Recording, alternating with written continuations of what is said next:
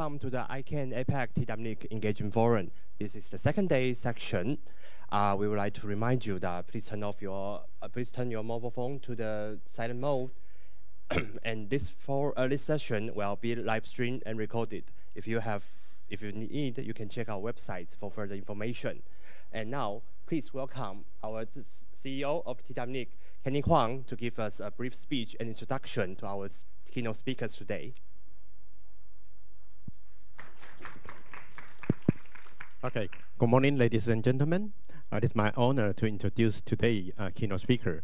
Uh, the first keynote speaker delivered by Paul Wilson, Director General of APNIC, and the second one will be David Conrad, CTO of ICANN.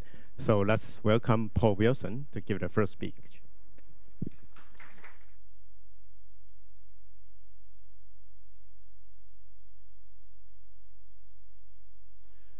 Thank you, uh, Kenny. Thanks, uh, thanks everyone.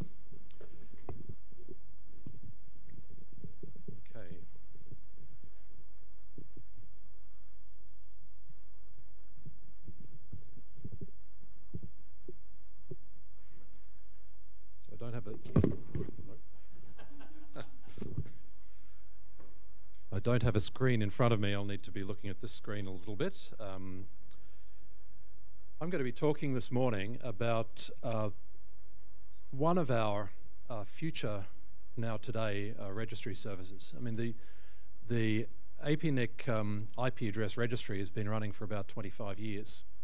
And of course, the idea of the registry is to tell everyone, the internet public, about who has got uh, control of, who holds the IP addresses that APNIC manages. And that's, um, I think we all know that's very important for fault finding, for engineering, for network configuration, for security, uh, increasingly the, these days for people outside our traditional community like, uh, like law enforcement and public safety and so on, these people to be able to track down the users of, um, of IP addresses, which are the subject of the, uh, of the APNIC registry.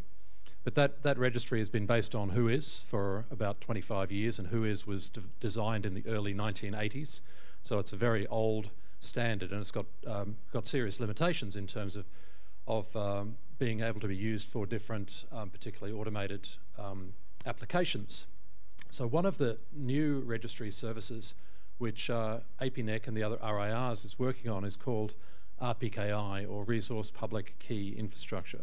Now, I've spoken about this uh, last year in, uh, here in Taipei, um, so I'm, I'm, going to be giving a, a technical introduction to RPKI uh, for those who may need that, and also an update on a lot of the actually quite recent developments and changes which have been happening, which show you that RPKI is not really the next generation, it's really happening uh, here and, um, and now today, and it's something that we all need to, to, to take a look at. So, uh, what is RPKI? It's, um, it's a PKI, a public key infrastructure for internet resource numbers. That's about creating a cryptographically verifiable system of uh, recording the ownership or the, those who are holding IP addresses and autonomous system numbers. And uh, it's, it's creating mechanisms uh, in particular for routing security. So, this is what I'm going to be talking about, but I wanted to uh, just make uh, one brief um, let's see if I can get this to work. But first,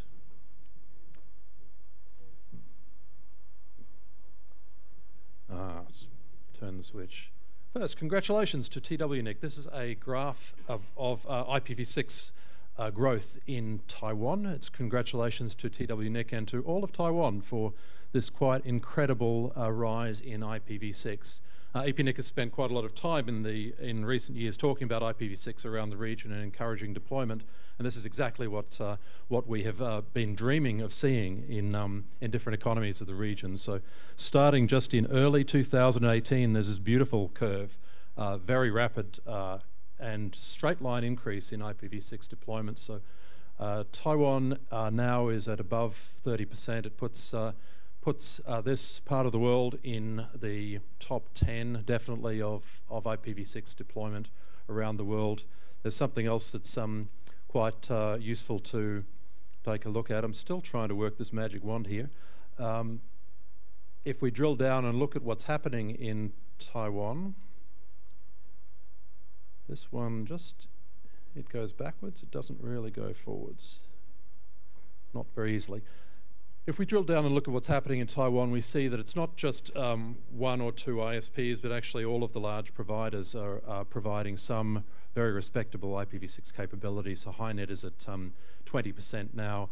EMOM is the leader at 77%. Taiwan Mobile, Far East um, Telecommunications. Uh, there's a couple of others highlighted there, which are smaller uh, networks but still respectable, uh, Ambit and, uh, and TANet. So I just wanted to mention that again because you might have expected APNIC to be talking once again about, about IPv6. We do that quite often. Uh, congratulations. But back to the agenda.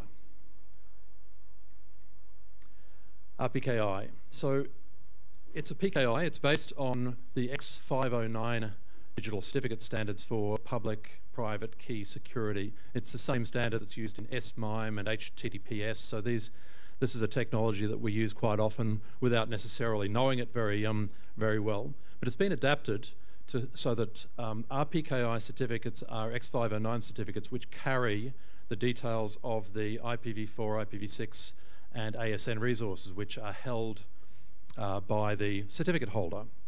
So if you hold this certificate, the private key to this certificate, then it verifies that you are the owner, the holder of the IP resources which are documented in the certificate. So you will receive these uh, certificates with your resource allocations from the IP address registry, from APNIC, from TWNIC. And in that sense, the IP address registry, the RIR, the NIR, is the certificate authority for issuing these certificates. The second part of RPKI is not just uh, the holding of the certificates, which show your uh, show that you have authority for the resources, but also the ability to authorize routing. So there's something called a route origin authorization, a ROA, ROA object. That's something that you as a certificate holder produce and you sign it and it gives you a, um, the ability to authorize your addresses to be routed from a particular autonomous system. Now I'm going backwards again. I would recommend re replacing this, uh, this device for the next speaker. RPKI has got uh, several defined objects. Those, um, those resource certificates, as I mentioned, which are issued by the uh, Internet Registry, is the the CA, the route origin authorization, uh, which I described as well.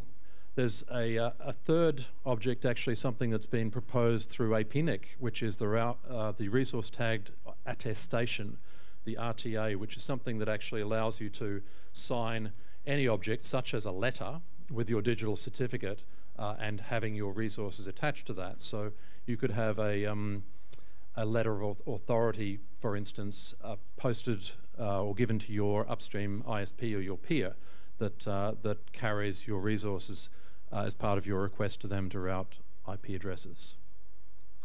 Now, I'm sure we all basically know about internet uh, routing, but if we have an autonomous system which has a block of IP addresses, IPv4 in this case, if the um, if that autonomous system, if that network is to have its address space routed on the internet, it needs to get that address, those addresses into the global routing tables of the internet in some, in some way. And that's done through announcing the addresses, after which the addresses appear in the, in the routing table. And from that point on, the traffic can flow between the internet and your autonomous system. The thing about this uh, rather now dated uh, system of, of internet routing using BGP is that the mechanism for getting that route into the routing table is not well defined. So there's kind of a question mark as to how your upstream or your peer actually understands that you really do have the right to use those addresses and therefore to receive uh, and to source the traffic. So, in fact, kind of um, that system, which has got uh, an informal set of informal mechanisms for validation, really do uh, raise question marks over the origin of um, and the destination of traffic on the internet uh, routed in this, in this manner. Now, these are not very common security breaches, but there have been, uh, over the recent years, a series of quite serious routing security breaches which are caused exactly by the fact that routing to the wrong address block can actually happen fairly readily on the internet. So, so Facebook had a major outage of all of its um, applications back in March of just this year, just a couple of months ago. Uh, Google in 2018 also had a had a major routed, uh, outing, routage, uh, routing outage, um, uh, a BGP leak involving um, a particular autonomous system uh, out of Nigeria and out of China Telecom. Uh, there's a, there is a, quite a list, um, but these are big players who've been affected by routing uh, outages. Amazon, Google, Google. Way back in February 2008 was the first major instance we had where um, Pakistan Telecom announced some YouTube address space, and that um, that announcement propagated quite widely in the internet at the time, uh, bringing uh, taking YouTube down for much of the internet for quite a period of time. So the routing security is something that, that actually has been an, an issue that definitely needs attention. Um, RPKI is the mechanism that we have um, been developing over some years to assist with that. So how does it work? Well, with a the use of a ROA, a route origin authorization, that ROA can be provided with your routing announcement to your upstream. So rather than using a letter of authority or a telephone call to someone to say, please believe me, I am who I am, and please route my address space, or providing just a written letter that could be on letterhead, but it's still something that can be forged. That uh, letter of authority can be replaced by a ROA, and that's the digitally signed object that actually uh, you can only produce this ROA if you are the holder, the genuine holder of those IP addresses. And so with that, that ROA, uh, providing the, the authorization for you to originate the address space that you're using, the, uh, everyone can be happy. The, the, uh, uh, the traffic, at least between your upstream and your, and your autonomous system, can be um, more trusted. So just in a, in a little more detail, this ROA is a signed object.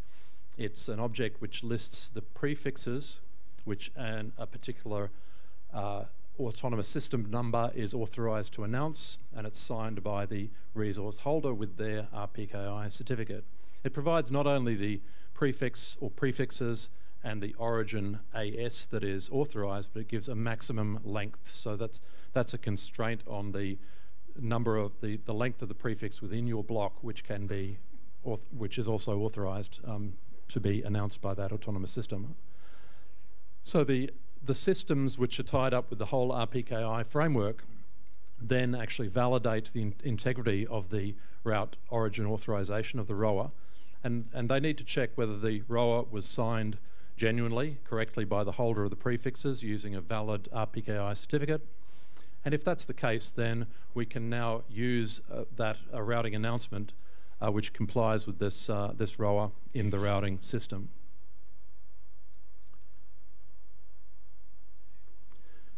Part of that um, process is the RPKI validator.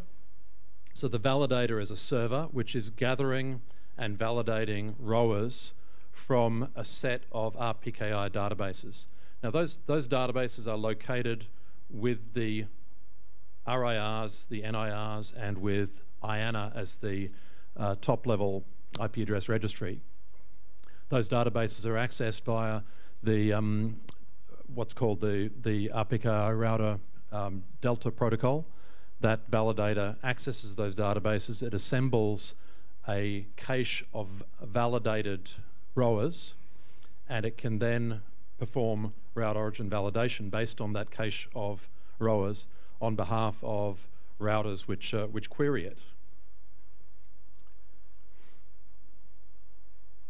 When a, a, router queries that RPKI validation system, they will um, receive a result for a given route which says that that route within the RPK, RPKI is either unknown or not found within the RPKI system, and that, that would be happening in the majority of cases now, because as RPKI is rolled out, we only have a minority of address space actually covered by ROAs. But uh, so what it means is that that, that ROA is not yet found in the RPKI system. Uh, there's really no difference uh, between uh, not found and not even using RPKI at all. So we can we can ignore that as the default. The validator will also, can also return a valid status, which actually means that the ROA for your IP address uh, block exists. The uh, prefix, the origin AS, and the length match those in the validated cache, cache and so that will be a, a valid and validated route, which uh, under the RPKI framework can be more trusted than otherwise.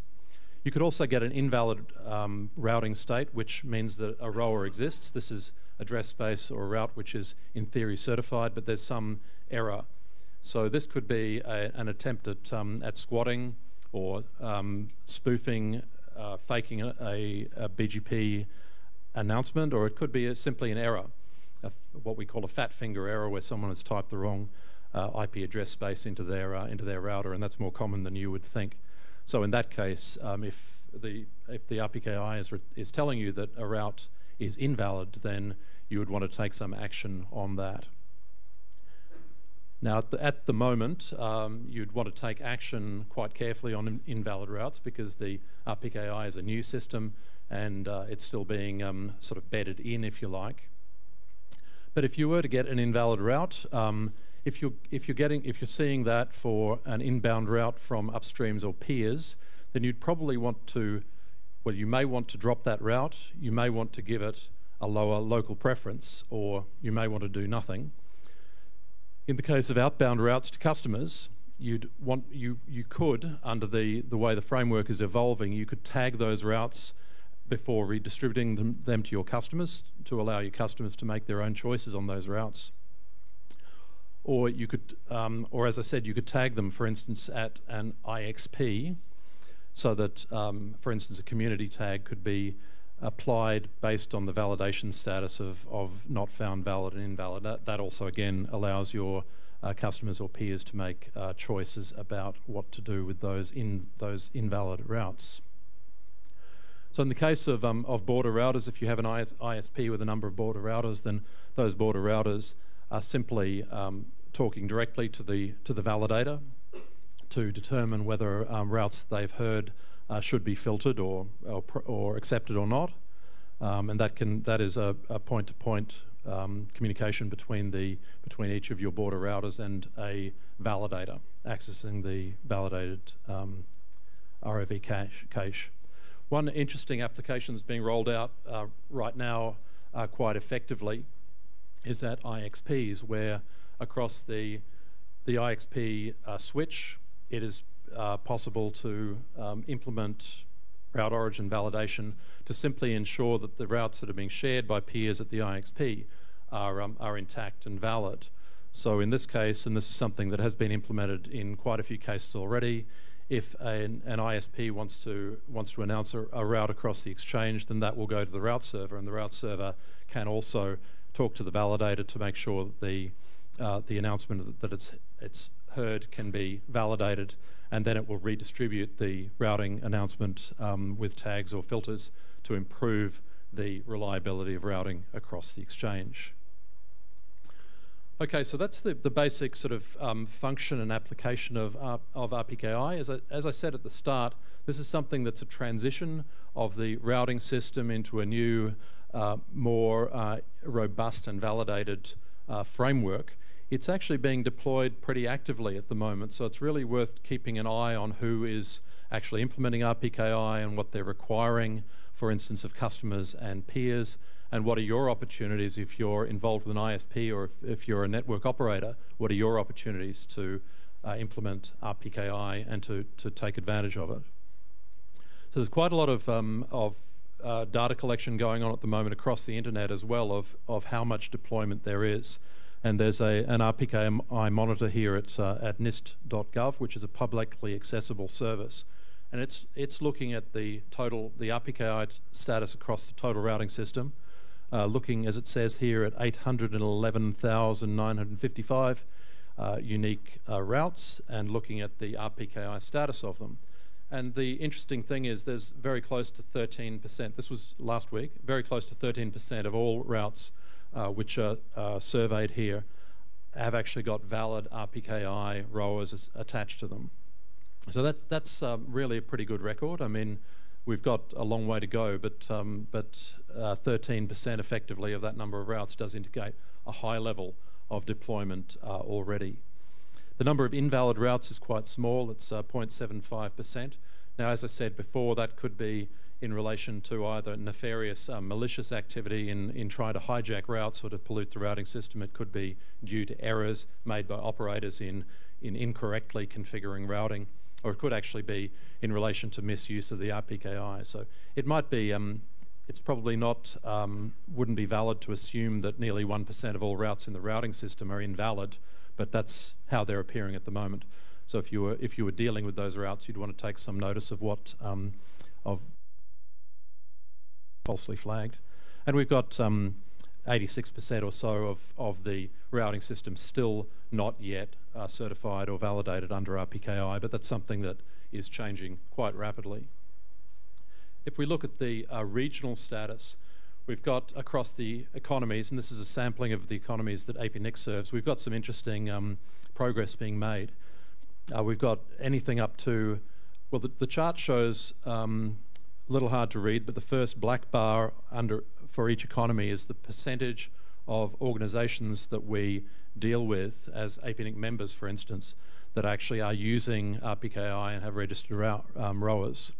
The blue bar is the percentage of IPv6 address space in that economy that is uh, under ROAs, and the green is the the blue is uh, IPv4, the, the green is the percentage of IPv6 address space. So uh, perhaps the best best example here is um, well, the best examples are in fact uh, Sri Lanka, Singapore, and Taiwan. So Taiwan shows just over 20% of organisations in the RPKI uh, being actually participating in uh, the RPKI, having certificates and ROAs, but that actually accounts for over 90% of IPv6 address space in Taiwan. It accounts for nearly 70% of IPv4 address space, and that's um, those numbers are very good. On the other hand, Sri Lanka has uh, got 60% of its of its community participating in the RPKI. That's a much smaller smaller community, mind you. So it's uh, it's probably a smaller number of of actual individual operators. They've reached um, over 90% of IPv4.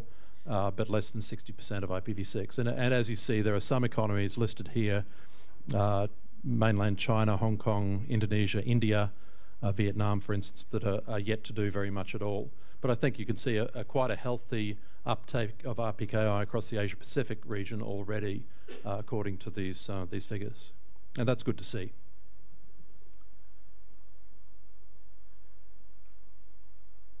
So there you are, Taiwan. Another another thing for the Taiwanese uh, internet community to be to be proud of in this case. So that's that's nice to see. So a few more details here about RPKI adoption, and there have been quite a few major announcements. So uh, NTT America is now recognizing ROAs as of uh, July last year, so BGP customers can uh, uh, register their ROAs and use those and have them available to NTT for validating those routes.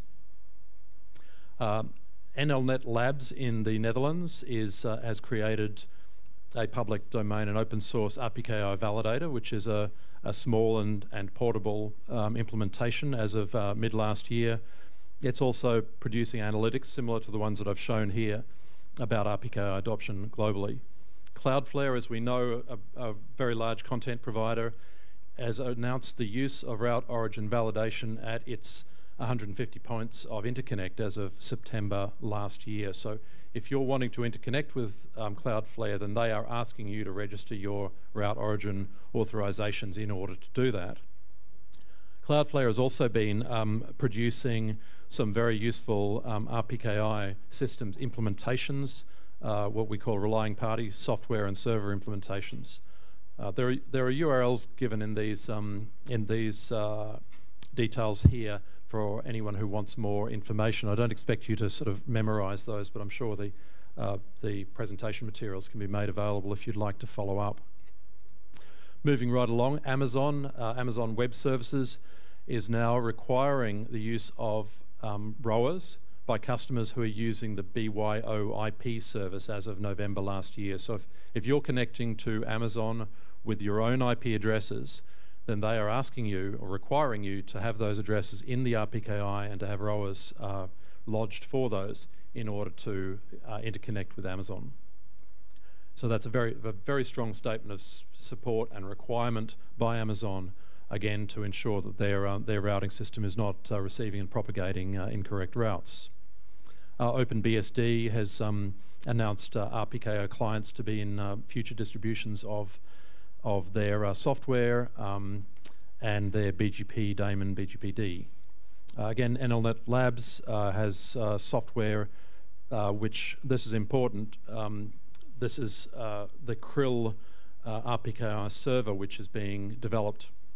And th this is what allows you as a downstream uh, IP address recipient from, say, APNIC or TWNIC to run your own RPKI certification authority. So if you're a large ISP and you're distributing IP addresses in blocks to downstream uh, ISPs, then in fact you may wish to be serving as a certification authority for that address space and issuing those those IP addresses. APNIC offers a service which allows you to do that, but um, but this um, development from NLNet Labs will allow you to do it yourself if that's how you wish to uh, to work. Uh, KPN in the Netherlands uh, is also implemented and announced RPKI uh, for their customers and smaller peers. APNIC, along with other RIRs, has been very active uh, thanks to uh, Geoff Huston, uh, George Michaelson, and others um, at, at APNIC. They've been uh, actively involved with the standardization service, uh, the standardization process. RFC 8369 has recently been approved. That refers to validation reconsidered, which is an adjustment to the, the validation algorithms of RPKI to, um, to improve their effectiveness. There's something else called uh, the resource tagged attestation, which I mentioned has gone to the IETF as a draft. And that's that, uh, that ability, as I said, to be uh, uh signing with your resources uh, an attestation, a, a, statement such as a letter of authority. Uh, ZDNS in Beijing is um, maintaining the RPSTIR relying party software. Um, that includes something called SLURM, which is support for the use of local trust anchors within the RPKI system. And that supports the, the APNIC proposed validation uh, reconsidered. So the, the point here is that um, there's a lot going on on, uh, on RPKI around the world, and it's something that, um, that can improve your routing. It's something that can be required of you in, uh, in interconnection as well.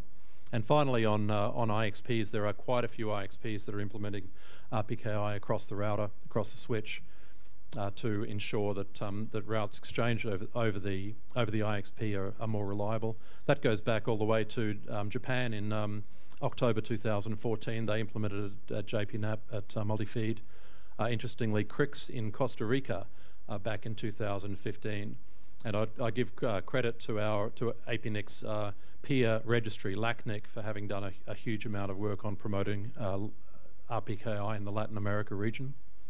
Uh, also AM6, uh, also BKNIX, LINX in uh, Manchester, uh, and probably quite a few other IXPs are, um, are implementing ROV. I'm sorry if, if it's being implemented by any of the Taiwan IXPs, I don't have that information, but I'd be, be very interested to know if that uh, is happening.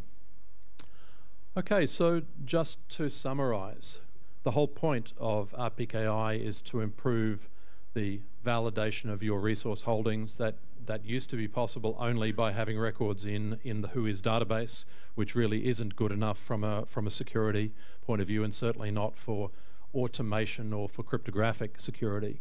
Much much safer than um, than than WHOIS, and uh, it's also uh, something that can be automated as you've as, as, you've seen in some of these systems that I've described here. Um, the idea is improving the security of the routing system to stop either route hijacks polluting the routing system, to stop errors from being propagated through the routing system and causing potentially very serious problems uh, globally across uh, internet routing. So um, this is uh, route origin validation. You might notice this is about the, the validation of route origins We're not talking yet about about an implementation of BGP path um, validation, but that's something that's under development for those who who are um, uh, interested in that. Um, deployment is accelerating. Uh, global IPv4 coverage of around 13% and growing. Uh, there are software and vendor implementations, and there are plenty of IXPs, uh, CDNs, and uh, tier one networks who are now deploying or announcing. So, if you're interested in participating, where do you start? Well, APNIC has got this uh, charming campaign called Ready to ROA. So, if you're ready to create your uh, for your IP address holdings held uh, at APNIC. Uh, you can, as an APNIC member, you could use My APNIC. Uh, TWNIC as well, of course, we're working closely with TWNIC on implementation here. If you encourage your IXPs to implement ROV, then that will also help you as a, as a peer at the ISP to trust the routing announcements that are coming across from your uh, local peers. So that's in your interest and everyone else's as well. So encouraging your IXPs to, uh, to implement is a good thing. You can set up uh, route validation at your own uh, border routers and then encourage your peers and your customers to do, um, to do the same, to implement RPKI. And as I said, APNIC and, uh, and both uh, APNIC and TWNIC are here to, to help with this process. So please uh, do be in touch if there's anything we can do to help. And that's all I have, so thank you very much. Very happy in the couple of minutes available if there are any questions.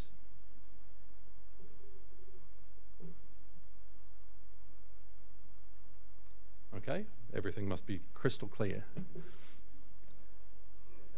Thank you. Uh, thank you very much.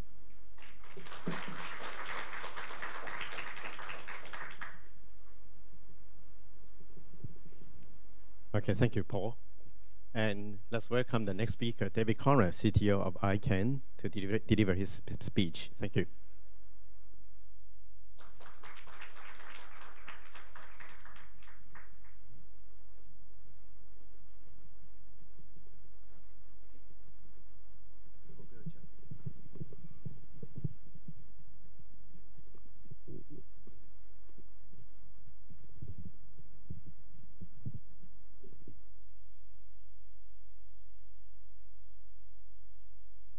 Thank you very much, uh, David Conrad. Um, uh, ICANN CTO. Uh, I was asked to talk a bit about um, some of the uh, security related issues. Um, so I, I, put together a, uh, a, set of slides talking about um, just sort of sampling the various threats um, that uh, I personally see related to uh, the global internet. Um, some of this is related to stuff ICANN does, some of it isn't. I'll try to make that clear as we go through the, the slides see if this works. Not that button. How about there we go. Um, so the first threat uh, I wanted to uh, discuss is something that's um, currently uh, fairly active uh, right now, even as we speak, and that's something known as uh, domain name hijacking. Um, as you're all aware, people prefer using uh, names. The internet sort of relies on numbers.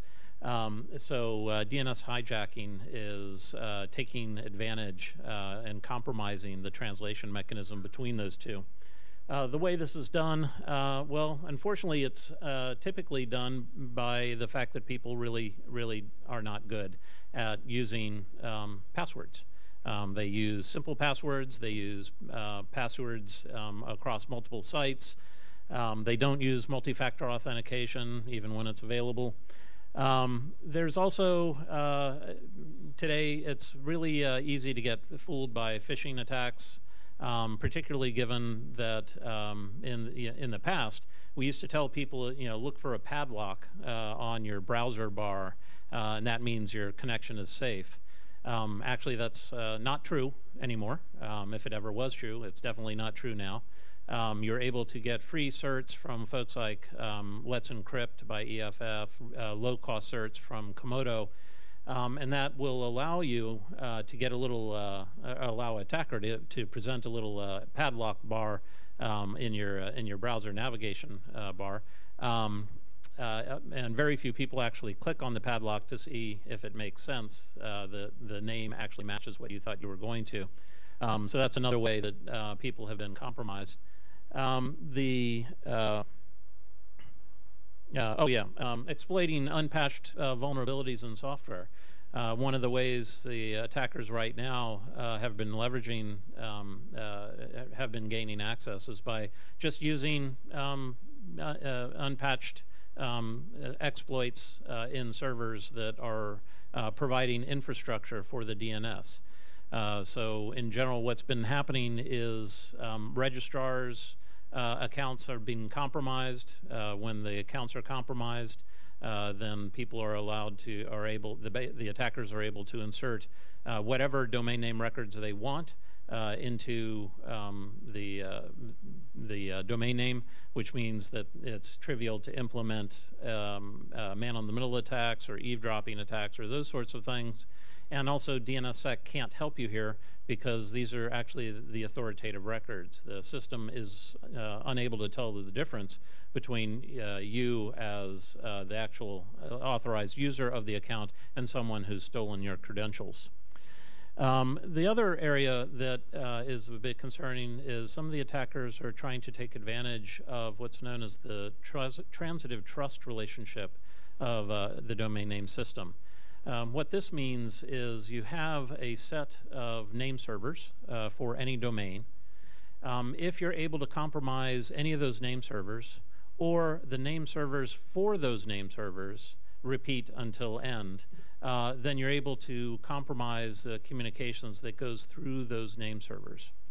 Um, so uh, in the those graphs uh, that are almost unreadable, um, the top one is a, the transitive, transitive trust graph of uh, .eu. Um, and it's relatively straightforward. There, I think, are on the order of uh, 16 nodes that represent the attack surface. So if the bad guys were able to compromise any one of those 16 nodes, which are represented by ovals, um, then they'd be able to uh, redirect the DNS. Um, the graph below, uh, which is largely unreadable, um, is uh, the uh, transitive trust graph for uh, Taiwan. Um, what that reflects is that Taiwan has a large number of name servers uh, and also relies on some external organizations to provide name service. So the transitive trust graph actually grows.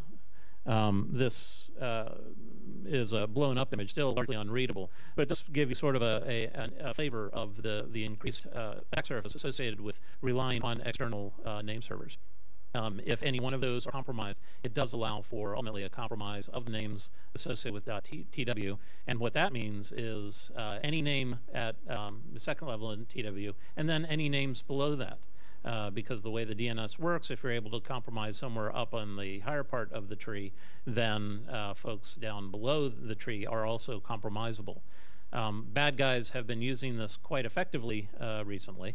Uh, some of you might have read about um, attacks. It was on Krebs Online and a bunch of uh, security-related um, uh, blogs.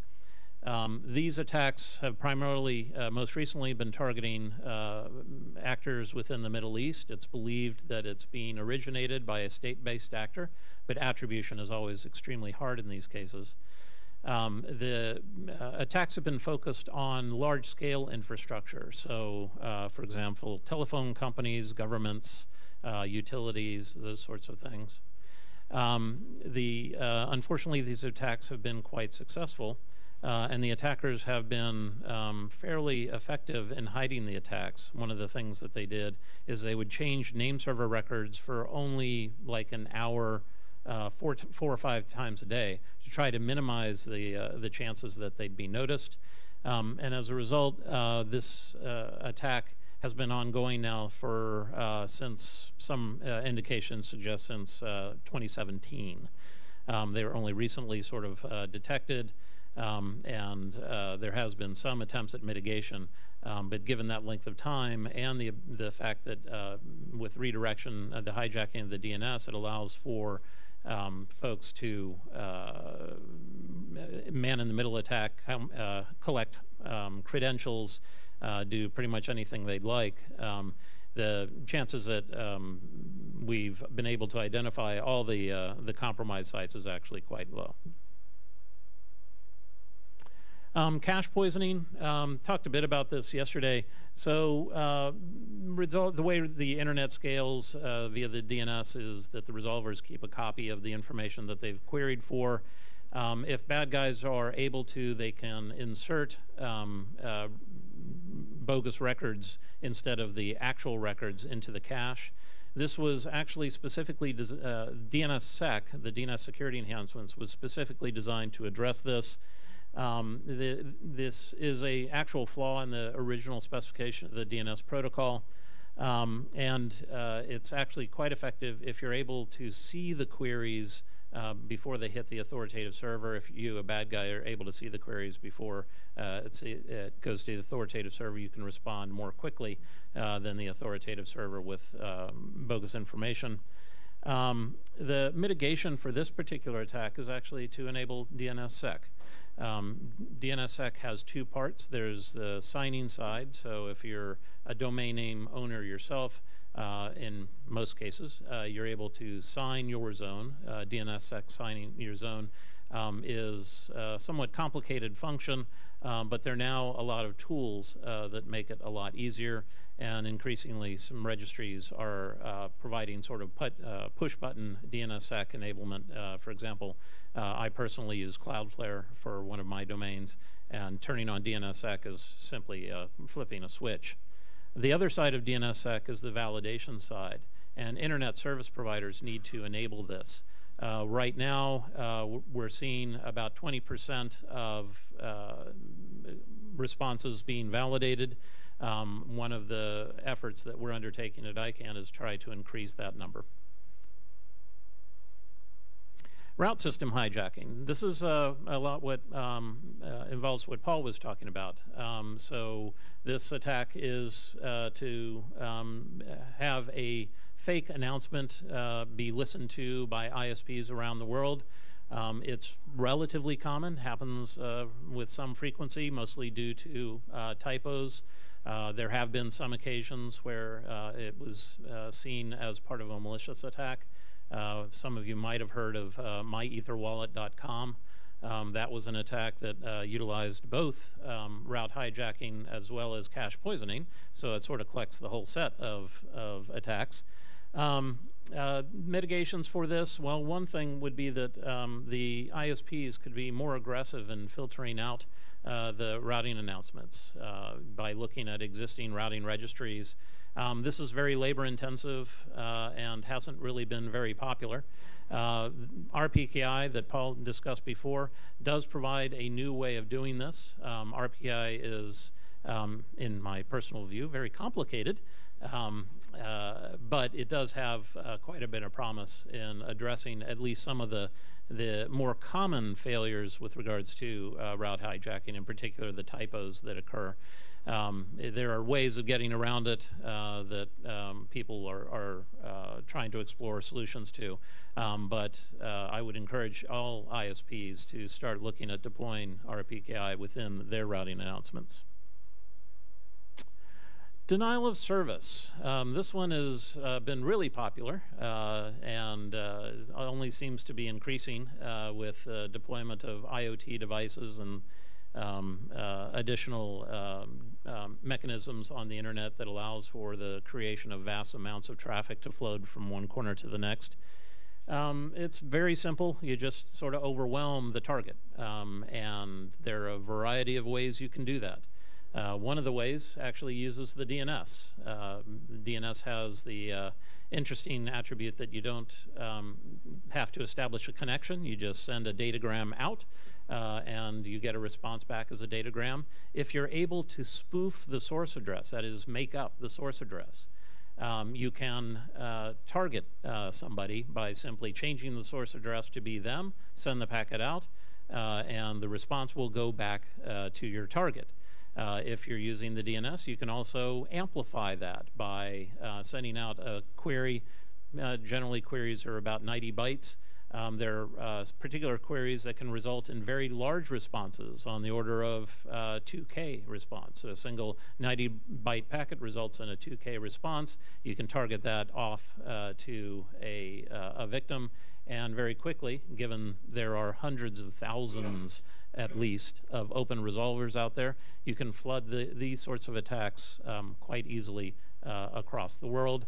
DNS is not the only protocol you can do this. Uh, NTP is also one that's used quite frequently. Uh, Memcache uh, protocol uh, is one that allowed for a multiple an amplification factor on the order of tens uh, of thousands of bytes. Um, so uh, the nice thing about denial of service is that it's so easy to implement. There are services, or there used to be uh, quite a few services where you could actually buy it online. It was uh, called booter services or stressor services. Um, uh, some law enforcement has have been cutting down on those um, uh, by cl uh, actually closing up those shops, um, but it's still quite common these days, and the attacks uh, continue to get larger. Um, this graph was done in March of 2018 and showed a peak of 1.7 terabits per second. Uh, I've heard uh, the current uh, record is now at 2.4 terabits per second, which is a, uh, a large amount of traffic that it's difficult to imagine being able to keep up with. Um, over time, uh, this is likely to increase, and the, the, sort of the slope of that graph is worrisome. Um, how do you mitigate those? Well, um, you increase capacity and diversity, but um, that's sort of a short-term solution uh, because it's always easier to find attack capacity than it is to pay for uh, defensive capacity. Um, filter source addresses, ISPs, if they would uh, implement something called Best Common Practice uh, 38, BCP 38, uh, it would help to reduce uh, spoofing, it would help to reduce reflection attacks. Um, there are costs to deploying BCP 38. Um, so a lot of ISPs have not done so, but it's something that uh, ISPs should uh, consider doing. Um, a lot of servers, uh, uh, services that are available on the internet have um, uh, bottlenecks. If you're able to eliminate them, then you reduce the opportunity for denial of service attacks. Um, and uh, one of the key things is to try to fix vulnerabilities in software that allow people to create these botnet armies uh, of uh, compromised computer systems that can be used to uh, attack um, victims across the internet. Um, phishing and spear phishing. Um, so this is probably familiar to most of the people here. Um, it, you create some sort of lure, something that looks like email that you would expect. Uh, encourage people to click on some URL. Uh, that uh, URL then takes you to a machine that uh, causes malware to be installed on your computer or presents you with a form that allows you to type in a user ID password, giving the bad guys access to your accounts. Um, that URL at the top um, might look like something that, if you happen to use Gmail, uh, might be, look like something you might encounter uh, you may not have noticed that there is a tiny little dot under the M. That's actually a IDN um, in .com. Uh, that domain was, until uh, about three days ago, um, held by a researcher who had put up a page that said, um, be very careful, this could be used for phishing. It appears that that researcher uh, unfortunately let his registration expire, and it was just recently snapped up, uh, apparently um, by uh, someone who has a web page, um, uh, a, uh, a, default web page uh, in Chinese saying, congratulations, you set up your web page correctly. Um, and right now, don't know where that's going to go to. Um, it it's hard to imagine a scenario in which that domain name would actually be useful for anything other than phishing, um, but it uh, does exist and is currently in play. Um, the uh, mitigation of this um, deploy there are a bunch of technologies out that are helping to try to reduce the flood of spam the flood of in, uh, invalid email uh, they're known as spf dkim dmarc uh, ISPs need to deploy those uh, on mail servers. Um, aggressively filter and quarantine spam. There's a lot of tools out there that will allow you to do that, some better, some worse. Uh, but be aggressive. Um, it's better to um, maybe dump some something into a quarantine so that you can look at it much more carefully than to accidentally click on something that um, will result in your machine getting compromised. Um, and end user education and training. Um, this is all part of cyber hygiene. It's uh, doing things to try to to protect yourself on the internet these days. Um, uh, at ICANN, we actually have a program where our IT department uh, purposefully tries to send us phishing email, trying to fake us into clicking on links. And if you do, you get a friendly message saying you shouldn't have done that, uh, and you get to have more uh, anti-phishing training. Um, this has actually been quite effective because the anti-phishing training is really quite boring. Um, so uh, I'd encourage people to look into doing that, encourage their companies to do that. Um, botnets. Uh, botnets are basically just a whole bunch of compromised machines controlled by a, uh, a bad guy through a command, uh, command channel, usually synchronized via the DNS. Um, uh, domain generation algorithms are used to create these domains uh, that the uh, malware will go and do queries to. If they get a, a, response back, then they can establish a command and control connection to the botnet herder. Uh, the botnet herder then can you know control hundreds of thousands or millions of machines and point them at uh, whatever target they'd like to to do whatever they'd like to do. For example, denial of service attacks, run spam, uh, you know, send out a whole bunch of spam, um, allow people to to bounce through the compromised machines uh, to hide their tracks in case they're trying to hide their activities.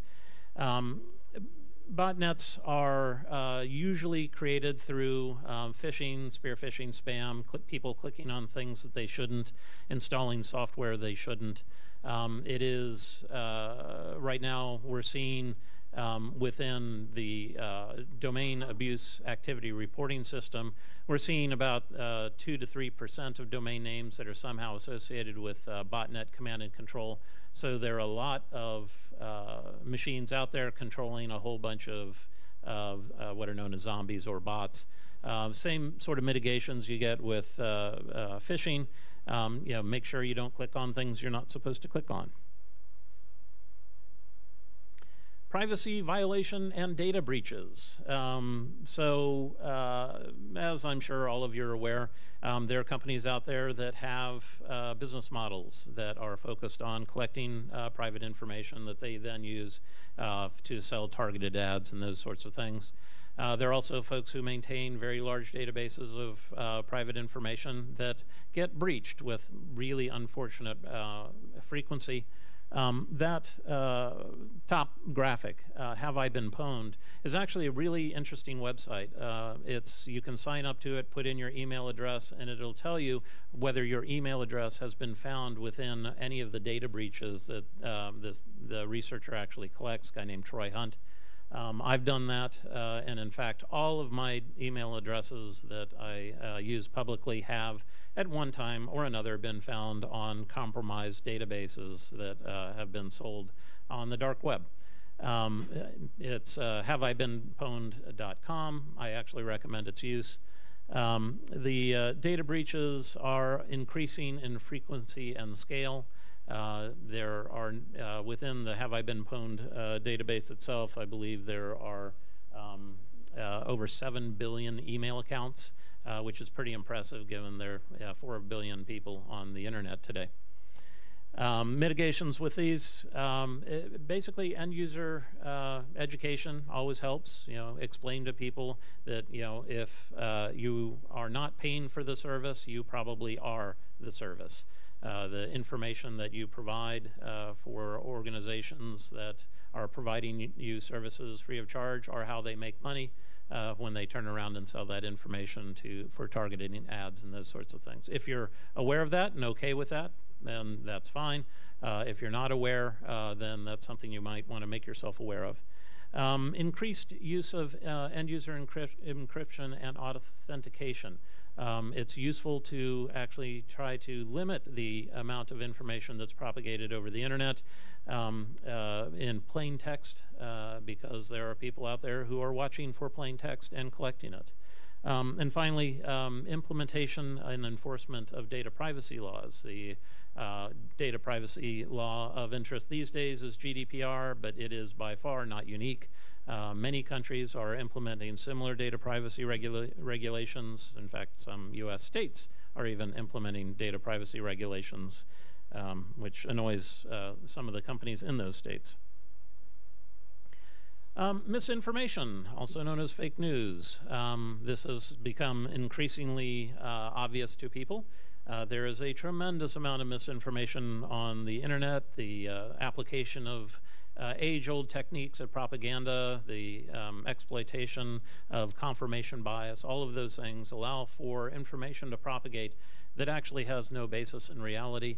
Um, the implication of that is that um, it re reduces trust in the traditional uh, information sources, and it also tends to result in governments, uh, you know, politicians want to want to do things, uh, coming up with ways of trying to uh, uh, control or limit the propagation of that information.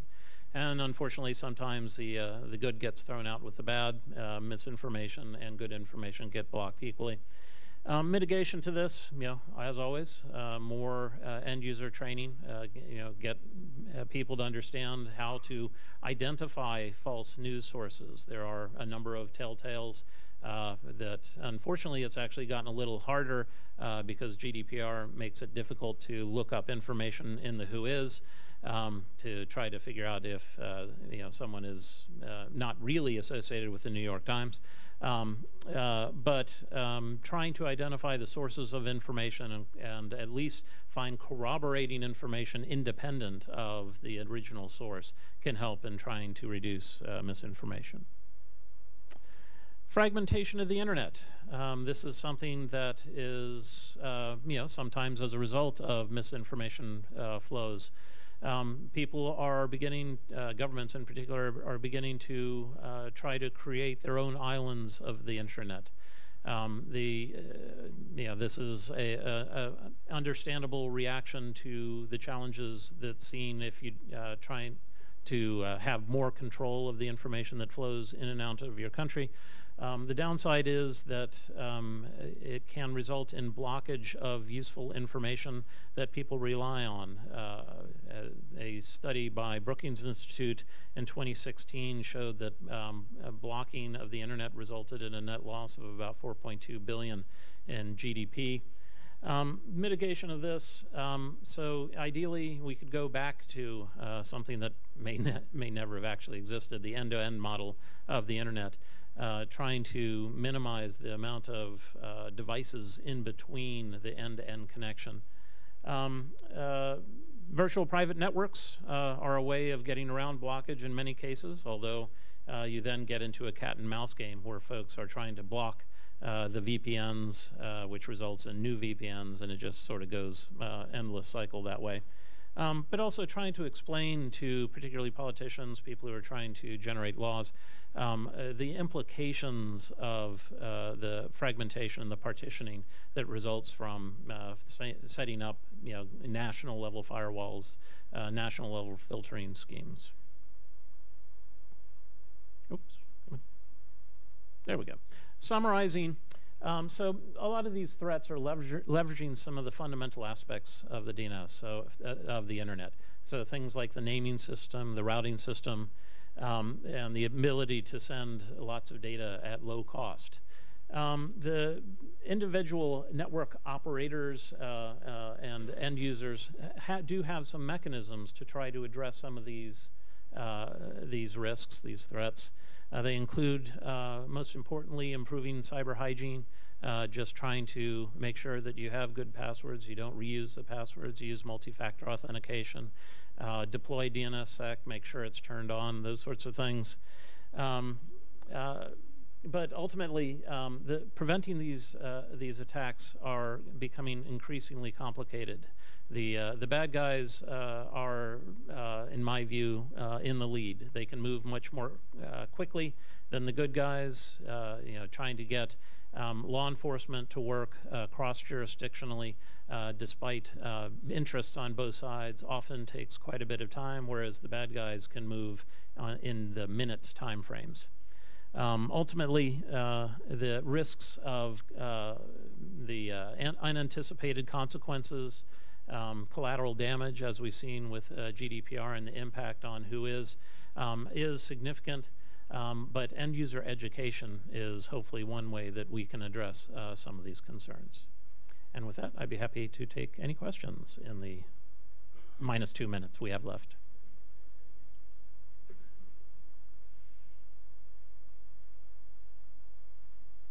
Good, I've scared everybody. Thank you very much.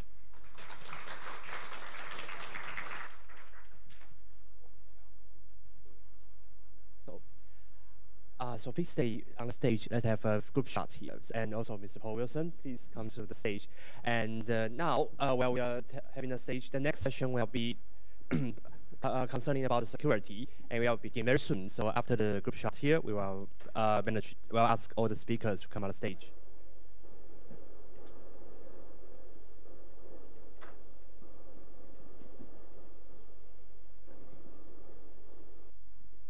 And this section will be colla collaborative security, responsibility, confidence, and consensus. The moderator is the Deputy CEO of TWNIC, Joey Chen. The speakers are David Conrad, the CTO of ICANN, Bob Hong, uh, the General Manager of Taiwan Business Units of Trend Micro, Geoff Huston, the Chief Scientist of APNIC, and Yukako Uchida, leader of Global Coordination Division of the JP Cert CC. Let's give them a to welcome them. well, everybody want to talk about security, I guess. Okay, so uh, yeah, uh, my my honorable uh, panelists, please have a seat. So. Um, Yes, good morning, everyone. My name is Joy Chen, and I work for TWNIC, also for the TW Cert slash CC, which is the coordinator center. And it's my honor to have my panelists here on the stage. We're going to be talking about security. And uh, it's not just any security, it's the collaborative security. So I think it's going to be a very interesting session. And uh, um, as you all have heard the keynote from David, he has shared a lot of the different um, threats, the different methods of the threats. And the bad guys are really uh, very intelligent as well. So I think we're going to have a very interesting discussion today. And uh, before I introduce everyone on the stage, I also want to share with you that the way that we're going to run this uh, forum for this session is that every one of my panelists will share a little bit about their views on the collaborative security. And uh, we welcome all the comments and uh, questions. So with the two open mics on the floor, I will encourage you to come to the mic and uh, share with us while we are doing our presentation or discussions. And I will wait for the proper pause for you to share your comments and the questions. Okay, so um, First, you have already know David. David just gave this wonderful keynote, and uh, he's coming from ICANN with the CTO. So with all the technology aspects and uh, all the experiences, I'm sure it's going to be a wonderful thing. And Bob, as you many of you from locally will know that he's coming from Trend Micro. That's a that's a brand name here from Taiwan, and uh, we'd be very happy to share his uh, thoughts locally. And uh, um, and, and of course, Geoff. Geoff is the, the chief scientist, chief scientist from APNIC. And from his experience and also some of the comments that I have heard from him yesterday, I know that he's got a lot to uh, share with the audiences, depending on how much that we can ask and dig out from him, right, Geoff? And uh, obviously from our community, from the security community, from uh, JP CERT, we have Yoka here. So um, without um, further um, delay, I'd like to um, have each one of our panelists to start doing some sharing. But I'm going to give David maybe a little break since you just did the did the uh, the wonderful keynote. Do you mind? No, okay. Okay. So why don't we uh, just uh, go by with um, Bob? Maybe do you want to share some of your thoughts with um, the, the the team on the collaborative security? Okay. Do we have the? Yes. Uh, can I use my slide? All right.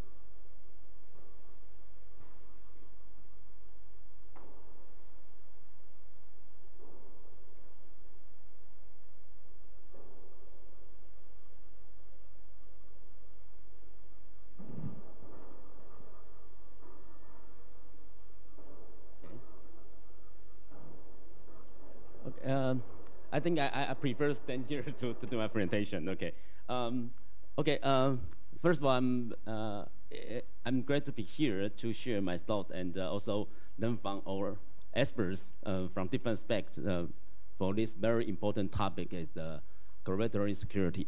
Okay, um, I, I, would like to have brief introduce about uh, Trend Micro. We, uh, uh, Micro was founded in 1988, so uh, in past 30 years, we focus on cybersecurity industry. And, uh, and uh, we start from uh, antivirus, and uh, in the past 10 years, uh, we dedicate in uh, data center and cloud security, and also the threat defense. Um, in 2012, Taiwan team found incident response team. in, in, the, in the past six years, we have been conduct more than 500 incident investigation for more than 200 customers. So what I'm going to share is based on my observation uh, for my for the cyber incident uh, handling experience. Okay, so uh, well, this be next. Okay, good. Also, uh, we we understand threat intelligence is is so critical uh, for threat defense. Okay. Um, well, it may include these three parts, but not limited in these three parts. Also, it is uh, about to what the hacker's tactics and uh, what's the technology uh, hacker used, and also the vulnerability. Uh, we all know the critical vulnerability uh, could create huge damage. take example of the WannaCry ransomware in 2017. well, it, it's, it's, you know, it's leveraging the vulnerability EternalBlue. That is very, very famous one. And, uh, but I, I, personally, I think the vulnerability sharing uh, is, um, is also already reached certain level of maturity because uh, there's the organization like uh, ZDI, Zero Day uh, Initiative, and uh, adopt, adopt the uh, bounty program to encourage researchers to report vulnerability.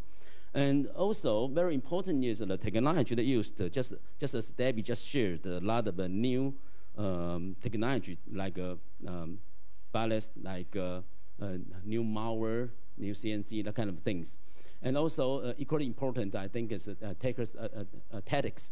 Um, it means how, taker, how hacker penetrate the organization, what kind of point of entry, how they do the network movement, what kind of system they want to leverage to dispute the malware, and also what kind of tool they do the control. Like uh, they normally will use the, the, normal tools the IT will use, like uh, uh, PowerShell, like a remote desktop, uh, uh, that, that, kind, that kind of things, and how they do it. So I think this is very important for, for not just for threat defense, also for the threat investigation.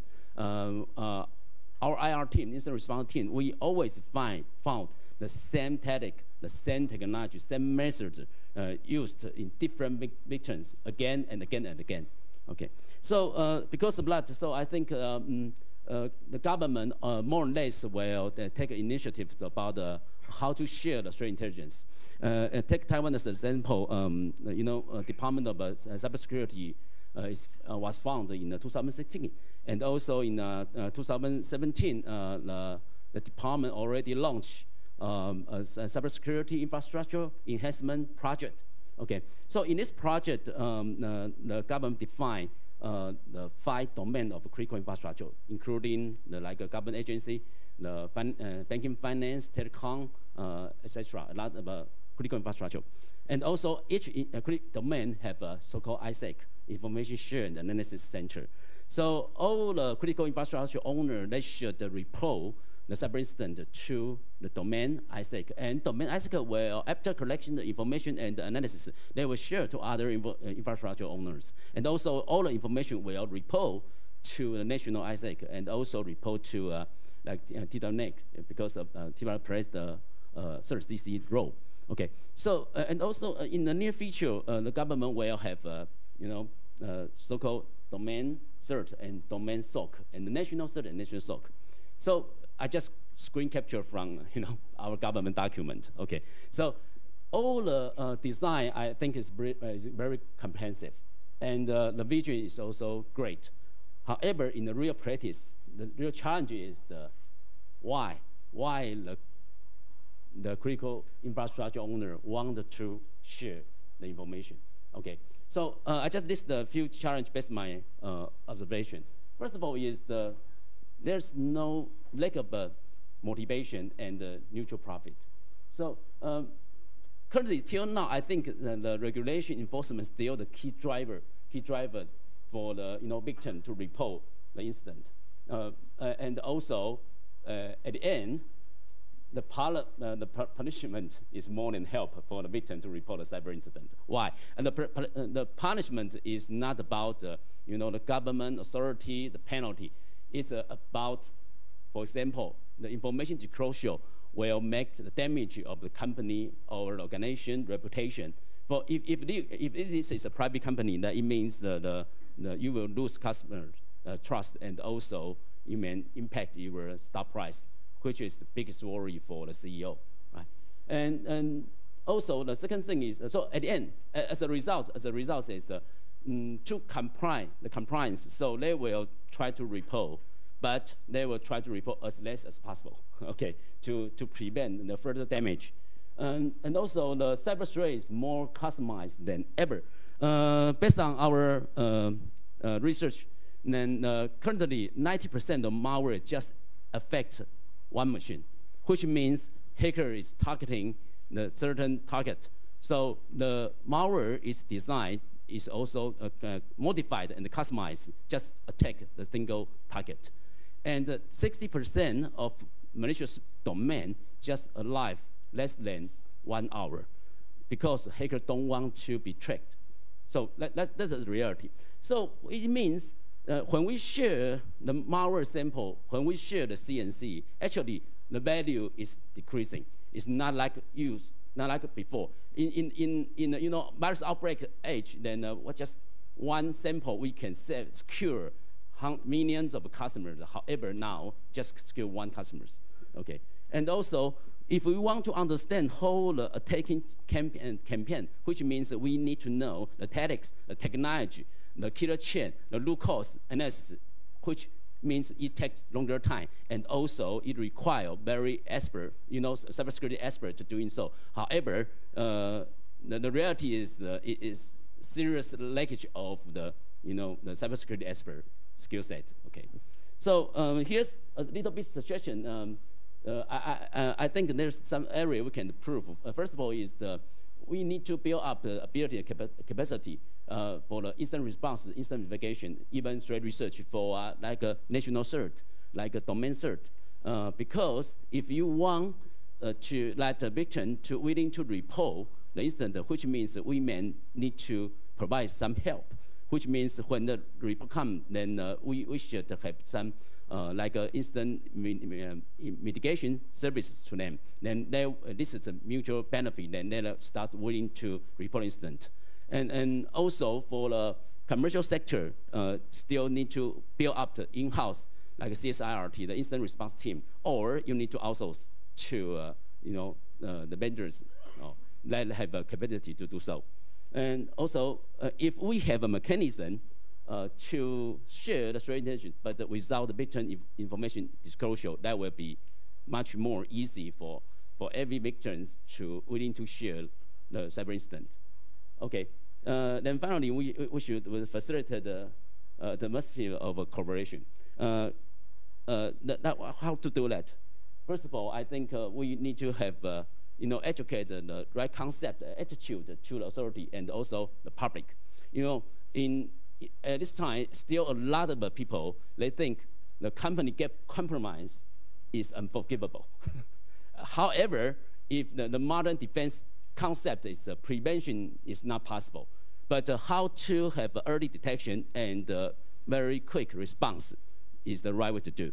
So if this concept is not, is not uh, well educated to the people, then every time when we, saw, uh, we, we see news about which company get compromised, we will fingerprint, uh, to, to the company, and no, nobody want to admit that, that that kind of thing happened. So it required educate, educate, educate again and again. Okay, this is my first journey. Thank you. Thank you very much, Bob. I think, um, yeah, this is great talk. A lot of the good reminders. And uh, can we move on to Geoff? Sure. Thank you. Um, Don, is it? Thank you. Um, thank you and good morning, all. It's a pleasure to be here. My name is Geoff Huston. I am the Chief Scientist at APNIC, and my job is thinking. Um, so I certainly have some thoughts about this whole issue around, almost did it, around security. Even the simplest of things, and a steam engine is not intrinsically that difficult. There are very few components, but they used to fail in amazing ways. So even the simplest of things can have catastrophic failure. When we go to more, geez, more complex engines, like this remote control, the failures are far more epic. Now, I was tempted to put in a picture of a 737 MAX because the software failure there is a typical example. That as we create more and more complex machinery in our world, the ability of that machinery to operate in ways that we never thought about and create epic failures is always there. If we think security is a fight, we will never win it.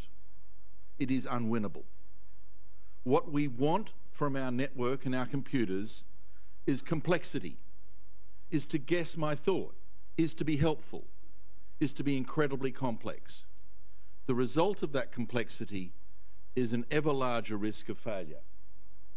So, failure is now not slight. Failure is catastrophic. If I can hack into the local traffic signs in this city, I can cause this city to stop. If I can hack into the water system, watch out, or your electricity system. All of these systems are online. All of these systems are vulnerable. All of them, at their heart, have some version of Linux running.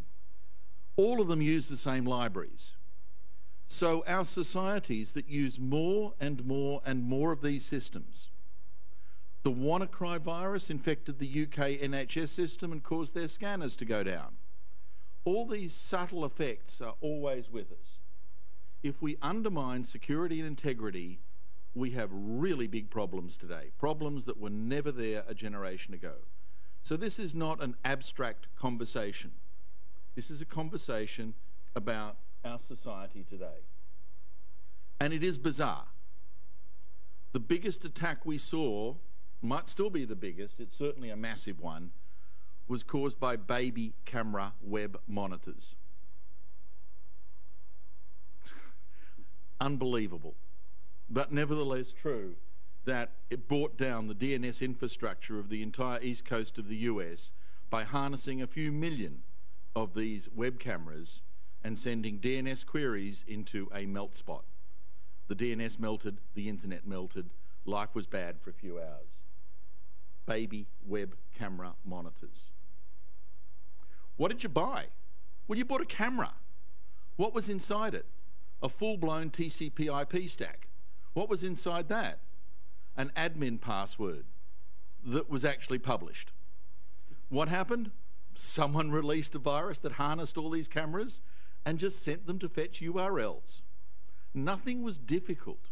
Attackers don't necessarily have PhDs. Attackers do the minimum possible work to cause the maximum possible damage. And what we do is field cheap, shoddy equipment that is readily subverted with almost no effort. This was a really easy hack for one of the most major events in the last few years. What are we doing about it? Good question. Certainly at APNIC, we can't ignore this, and we will not ignore it. In the address world, we understand we're part of a broader area of providing infrastructure services. IP addresses are part of the names and addressing system, and they're the bedrock of the internet. If we get this wrong, we have problems. All of us have problems. So we have a number of themes in which we're working in this, and you can see it on the slide there, that we do look very closely at DNSSEC. As you saw from Paul's presentation, we have invested years, in fact, it's getting close to decades of effort, in looking at how to help secure the routing system. It's an intrinsic part of what we do. Um, we're certainly very, very active in security cooperation and skills and knowledge, particularly with law enforcement. So we have a number of these. What we also do is figure out what our stakeholders want, what our community of members and, and other stakeholders actually want from us. What can we do to help? We survey them every two years. And although it's a busy slide, and I apologise, some years ago, V6, V6, V6, V6, V6. Today, V6 is still there, as well as the scarcity of V4 addresses and trading. But what's at the top? Network security. And in every single part, East Asia, Oceania, Southeast Asia, with the lesser developed countries and developing, all of them rank security as the greatest issue, the main challenge facing their organisation, which is, I think, part of the reason why you're here today and we're here today. We take it seriously. So, what aspects of that are the main challenges? We are all worried about phishing, spam, malware, and ransomware the insidious way they work, the way they dupe users who actually shouldn't know better. The attacks are sophisticated in that sense, is our number one concern. The DDoS attacks are also of concern. Intrusion, other breaches, staff lack of awareness and not attending enough phishing courses, David, um, is certainly up there. Oddly enough, routing security is not a major issue. And part of the reason is actually that the web PKI protects a lot of sites from the worst side effects of a routing attack. And the other little graph there, how might APNIC assist? Well, we get the message. What you want from us is training. What you want from us is assistance with collaboration. What you want from us is to publish articles on our blog and disseminate security related topics and content. We hear you, we are doing that. So, what do we do? We certainly share and collaborate. We work at our members' meetings and all the other NOG forums to talk about security. We work with the national internet registries to ensure that our own asset, the address database, where addresses are, is as accurate as possible all the time. We're trying to make those query mechanisms be aligned so that when you look it up, the information is always right. And we're now working with the community to make sure that the point of contact information is actually up to date and valid. If you think there is an owner of an address that needs to know that their address is being hijacked. We're trying to make sure that the point of contact information is now valid. We're also working with the various certs and the CSIRTs to strengthen collaboration and to coordinate that security community, including the law enforcement community, to actually work all on the same page. I want to talk a little bit more about one thing, though, which is different from Trend Micro. Because with Trend, you're looking at attacks on machines.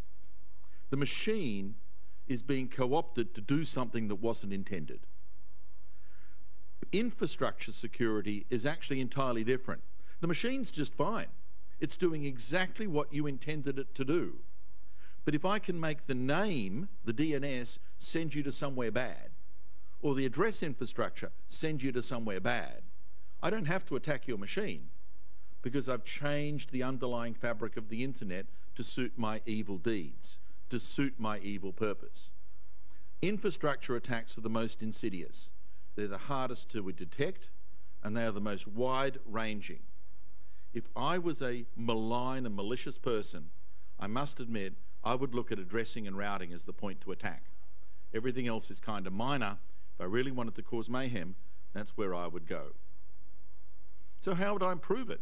How are we improving it? we have very few tools available to us. Remarkably few. If I've never met you and you're on the internet and I'm on the internet, how can you trust me? We can't meet, we can't exchange name cards, we can't talk, we can't establish each other's identity. Why should you trust me? What we've resorted to is keying infrastructure and cryptography. So I've never met you and you've never met me, but we might both know Paul. If Paul and I can say we trust each other, and you and Paul can say we trust each other, then maybe we can use Paul as a referral mechanism to say, well, maybe we can trust each other. So we use that mechanism of transitive trust inside RPKI to do routing security, and actually inside DNSSEC to do DNS security. Cryptography is essential. In APNIC, we've now spent 15 years working at this about testable attestations. Paul has gone through this in detail, so I won't spend much time at it. But certainly, this is a very serious area for us, and we have devoted a lot of time and effort at it. We also strongly support the names community in looking at DNSSEC and DNSSEC validation. We do long-range me um, measurements, we do a lot of analysis and a lot of work inside understanding how the DNS works to actually ensure that we can make the DNS as secure as we possibly can. But if this is a fight, we're never going to win it, and we might well be losing it. Because the defender is at a disadvantage. We have to defend everything all of the time. And this is not something that's easy. And indeed, the whole threat landscape is actually not as simple as you think. We used to always see this as a good guys, bad guys. The bad guys are bad, and the good guys are the certs and the C certs and the Trend Micros who work to try and catch the bad guys. But that's not true. There's actually a, th- third party, the security consultants. When your organization is hacked, who do you call? Well, you might call a private consultancy firm. They're an interesting bunch of people. They pay more than the public enterprises, so they actually have the best people working for them. And they're not interested in catching the criminal. They're not even interested in fixing the problem. When a customer, a victim, pays the money, their major motivation is to deflect future attacks, to make sure that that victim is never a victim again. Oddly enough, that third party is one of the major parties in our fight against malware and our fight against all these kinds of badness on the internet. But oddly enough, their motives aren't to make it better. Their motives are simply to protect their clients. And so this three-way fight between the good guys and the public, sorry, the, between the public good guys and the private good guys and the bad guys is causing us all a fair deal of angst and confusion. How can we work together is actually not public and public, but a conversation about public and private to actually make sure that threat information is not a private asset, but a public good. To make sure that the tools available to everyone actually allow us this more effective in fighting this problem. Thank you. Wonderful, isn't it? So now you have heard the words of wisdom from the chief scientist, right? I don't know how many of you will go home tonight and uh, take down your baby camera monitors. but obviously, I think there is a good balance between the threat and uh, security and protection. So, um, and also I appreciate when Geoff mentioned all this and uh, coming down to the end, it's really the infrastructure, the protection. So uh, ICANN and APNIC and so does TWNIC has put in a lot of the efforts talking about the DNSSEC, the um, the RPKIs. So uh, Paul's talk talking about RPKI. I hope everybody gets a, a better view on it. So I'll pass my, the microphone to our next uh, panelist, Yoka. Yoka is from JP Cert. That's also serving as a security community, and uh, she's doing a lot of the outreach and the coordination work. So let's give a good hand to Yoka. Uh, good morning, everyone. Uh, my name is Yukako Uchida. I work for uh, the JP CERT Coordination Center, um, the national CERT uh, of Japan. And, um, well, Bob mentioned about the collaboration between the, um, a lot of organizations um, involved in CERTs and, uh, you know, collaboration mechanism um, between those organizations. And I would like to talk about, um, well, just an example of our, our behalf what we're doing as JP CERT and maybe explain a little bit about the role of CERTs that we're doing at JP CERT. So um, just, just a little introduction about what a CERT is doing is that um, when, so when there is a cybersecurity incident uh, reported from the victim themselves or any other parties like security vendors um, or any, anyone who detected the cybersecurity incidents, um, they can report to CERT like us and then we will verify the incidents and then we will um, coordinate in order to solve that situation. So um, we will be talking to, for example, to ISP or to um, system administrators. And this is also important because, um, well, when it comes to incident that requires coordination uh, between, uh, you know, with, other countries, uh, for example, incident that is, that is happening um, outside of J Japan's network, um, we will be, uh, we will be, we will have to contact the CSERT um, in that country so that we will request for help um, in, that, uh, in that country in question. So uh, this is where the um, international um, collaboration is uh, required, and my main role at JP CERT is to um, establish uh, relationship between uh, national CERTs in other countries, um, um, so that we can uh, collaborate smoothly in case of cybersecurity incidents.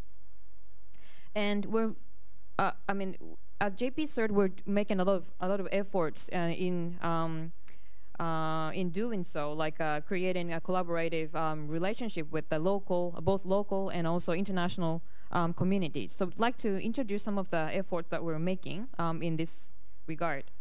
So um, this just map shows that what kind of um, organizations that we work with. Like uh, we we work with the um, CSIRT communities and also a lot of um, vendors and ISPs and the industrial entities, etc., et in order to solve incidents um, that that are reported to to us.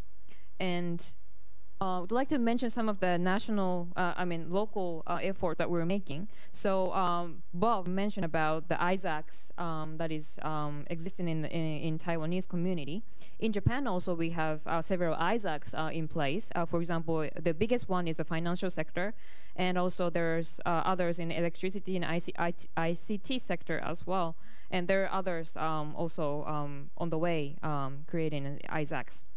And uh, one thing I would like to introduce um, is uh, in Japan we have the Nippon CSIRT Association. This is the local community for uh, CERTs. Um, for example, uh, the CERTs that is operating um, under the um, enterprises or, for example, universities and those um, entities. Um, it, it is really common in Japan to create uh, CSIRT within the uh, commercial entities and, and those you know any companies, and then we have a growing number of members in there. Uh, JP CERT uh, playing a role in that uh, NCA uh, community as well, uh, being uh, one of the steering committee member for a long while, and leading the discussion.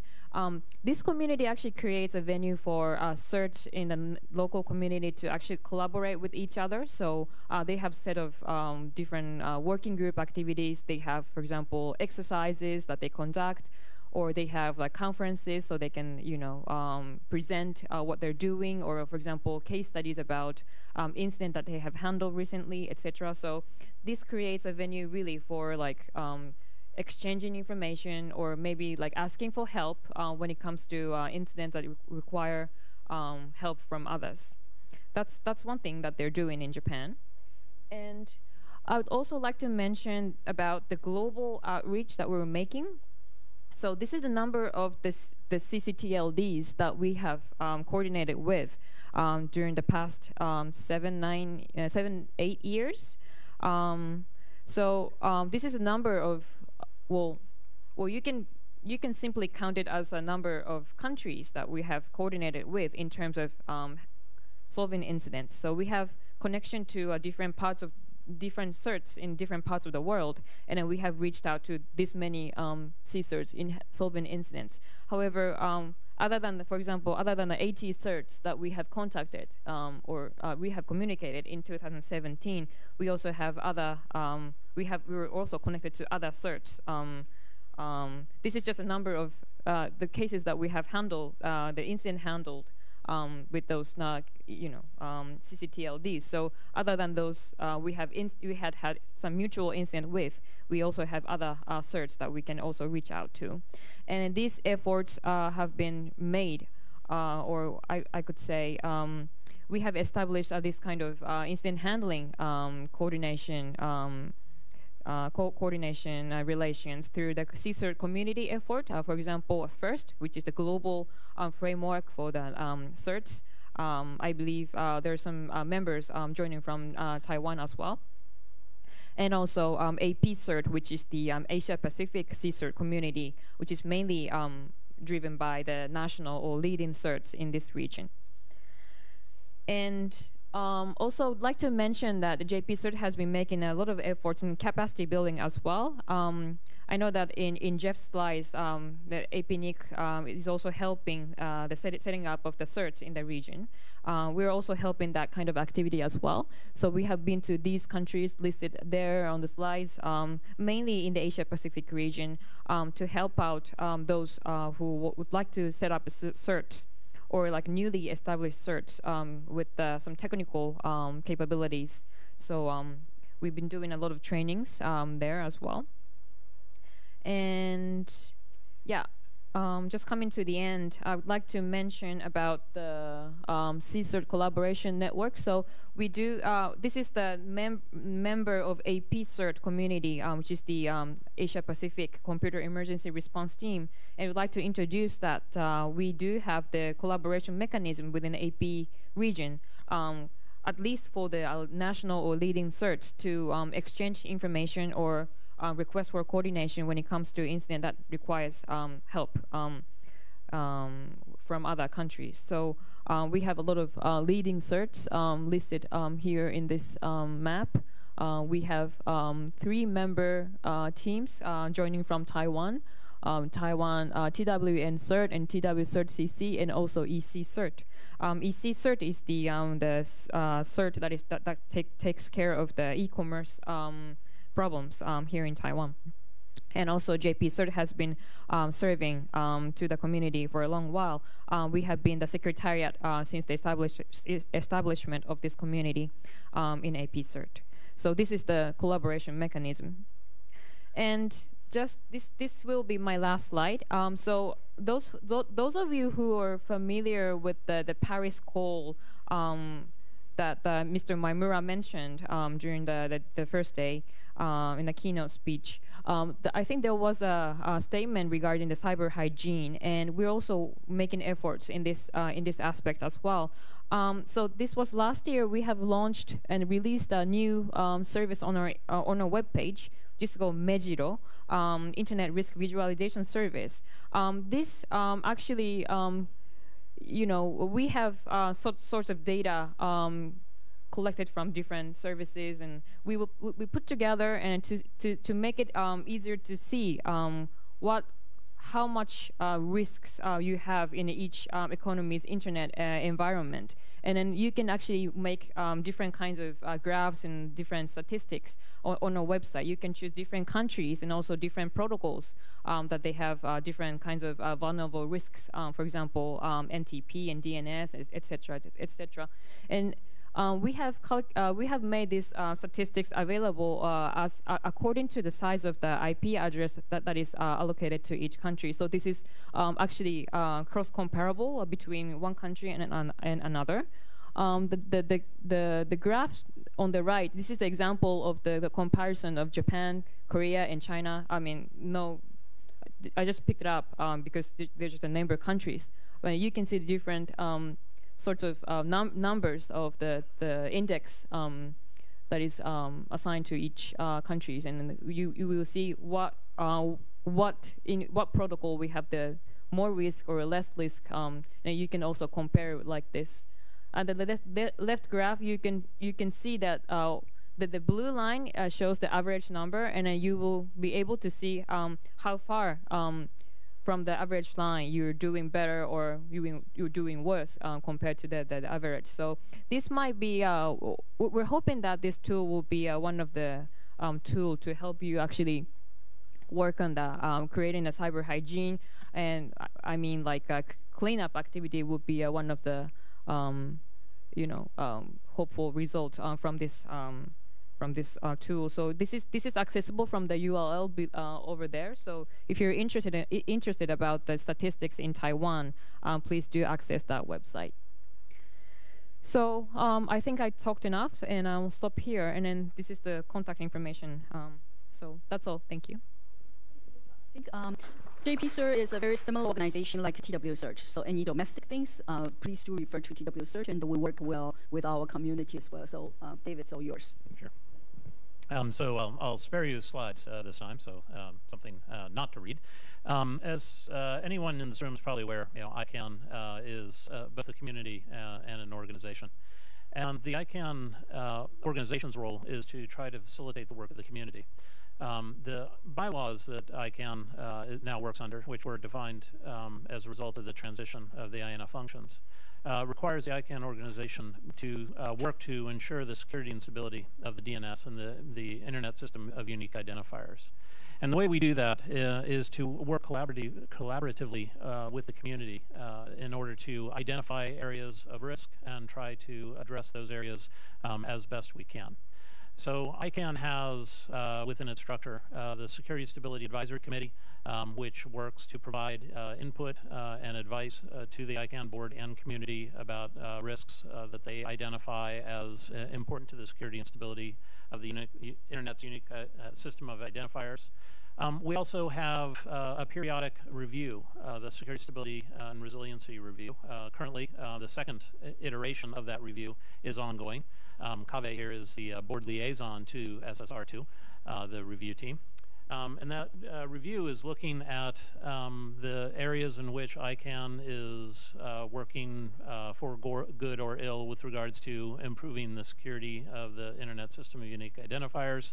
Uh, also reviewing the past results of the reviews that had been done. Um, these uh, review teams are actually created from the community. Uh, as a result of the transition, the uh, review team members uh, come from the various supporting organizations and advisory uh, committees um, within uh, the ICANN community itself. and they have essentially free reign to review all aspects of how ICANN performs its functions. Um, outside of the ICANN community directly, uh, we also work with a variety of organizations uh, involved in something having to do with security. For example, we're members of APWG uh, and the uh, and MAAWG, the messaging whatever their acronym. It, gets very long. I keep getting it confused. Uh, we participate in the uh, ISOI. We are a member of various um, uh, of the FIRST and other uh, trust-based organizations uh, to try to identify security uh, issues before they have an impact on the systems that ICANN helps coordinates. Within my group itself, um, my group, the Office of the CTO, um, we have a, a, number of projects uh, that are aimed at working to try to improve uh, systemic security. Uh, one of those uh, is the Domain Abuse uh, Activity Reporting System, or DAAR. Uh, that system tries to collect information associated with domain abuse um, through the new GTLD program uh, and report on that abuse to provide input and information to the community to help uh, uh, guide policy discussions uh, on those topics. Uh, right now it focuses specifically on the GTLDs, um, the generic top-level domains, uh, but we're looking to expand that to work with registrars, as well as any um, country code top-level domain that would be interested in participating with that particular project. Um, we also believe uh, that in order to um, sort of work on something, you need to be able to measure it. Uh, a result of that is a project called the Identifier Technologies Health Indicators, ITHI. Uh, TWNIC is actually participating in this uh, particular project. Uh, the intent of that is to try to define a set of metrics um, and indicators that will um, provide information about whether the health of the internet, um, is improving or uh, getting worse based on activities uh, undertaken by ICANN. Um, right now we have, uh, I believe, about uh, 32 different metrics that we're collecting. And the idea is to actually have a baseline uh, of those metrics, and, and anytime something changes, a policy changes, something like GDPR is implemented, we hope to be able to track uh, the impact of that change through these metrics. Um, we also deploy um, root instances uh, in order to try to help improve the resiliency of the root system. Um, ICANN currently has uh, about 160 uh, instances of the root server deployed uh, around the world. Um, I believe uh, Chunghwa Telecom actually operates one of the root instances here in, in Taiwan. Um, uh, as Bob had mentioned, one of the key issues is education. And one of the things my group in particular has undertaken is uh, training and capacity building. Uh, we go all over the world uh, to work with uh, various groups, particularly uh, law enforcement, governments, uh, anti-abuse communities, uh, internet service providers, registries, and registrars to try to provide them with information about how best to secure and improve the security of uh, the the uh, the system of unique identifiers, provide information, particularly to law enforcement, about what it is that ICANN does and what we don't do, um, to try to help people understand the ways in which um, the internet actually works and the role that ICANN and the various uh, community members have within the internet. Um, and in the interest of time, I will uh, conclude my remarks saying that um, education is actually um, one of the most important areas of trying to address security. Um, there, as Geoff pointed out, the complexity of the systems that we now rely on um, has only increased and will only increase. And I think the only way that we're going to be able to uh, deal with the security threats that we have in front of us is to actually um, educate people to make them understand where, uh, what role they have in trying to secure those systems.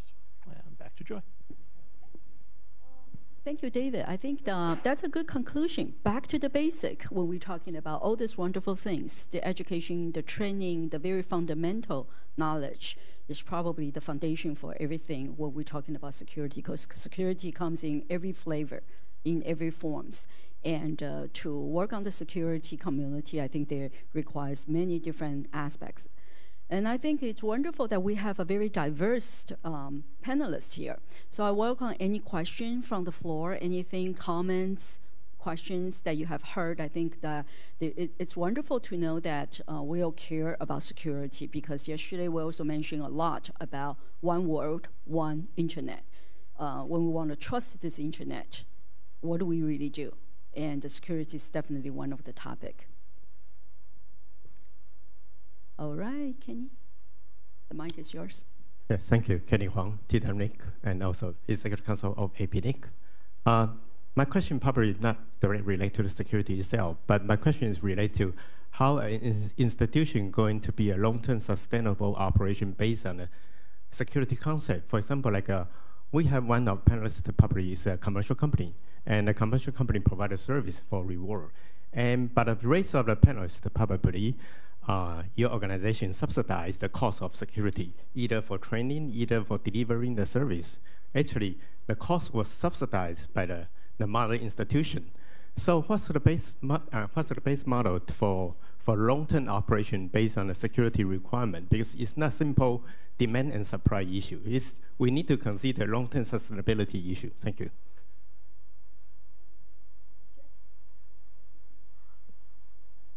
Good question, Kenny.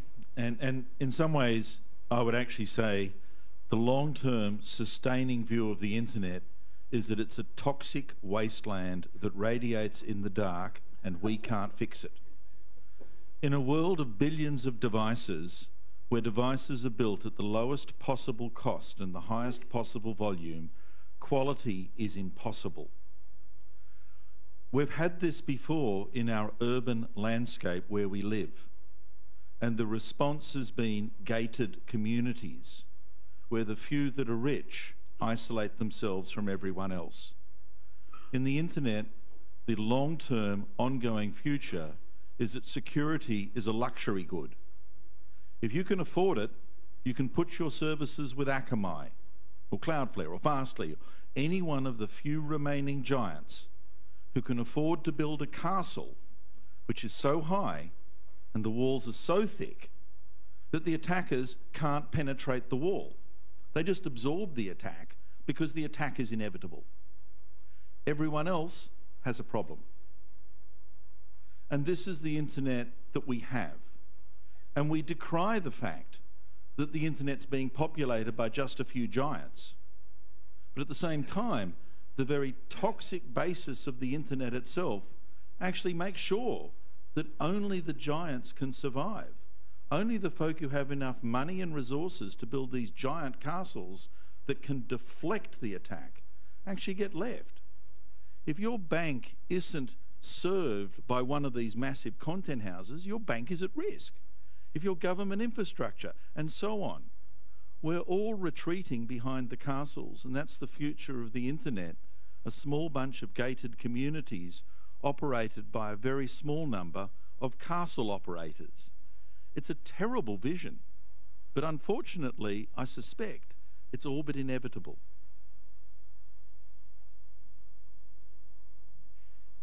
I have to say that it's um, relatively unique in my experience that I get to be an optimist. Um, I, I, I, tend to uh, have sort of a, a, a, negative view of the world, but I think Geoff has uh, out, outstripped me this time. Um, I, I, think um, part of the issue uh, that we face is that um, it's it's a sort of a form of market failure. Um, security is um, not computed uh, in the individual's decision about uh, purchasing a product or a service. It is something that um, uh, you think about after you've been attacked, after you've had your data compromised, or your your uh, you find uh, your credit card numbers being used uh, to purchase things you have no interest in. Um, my experience or my understanding is that a um, typical response to market failures is uh, for the imposition of regulations.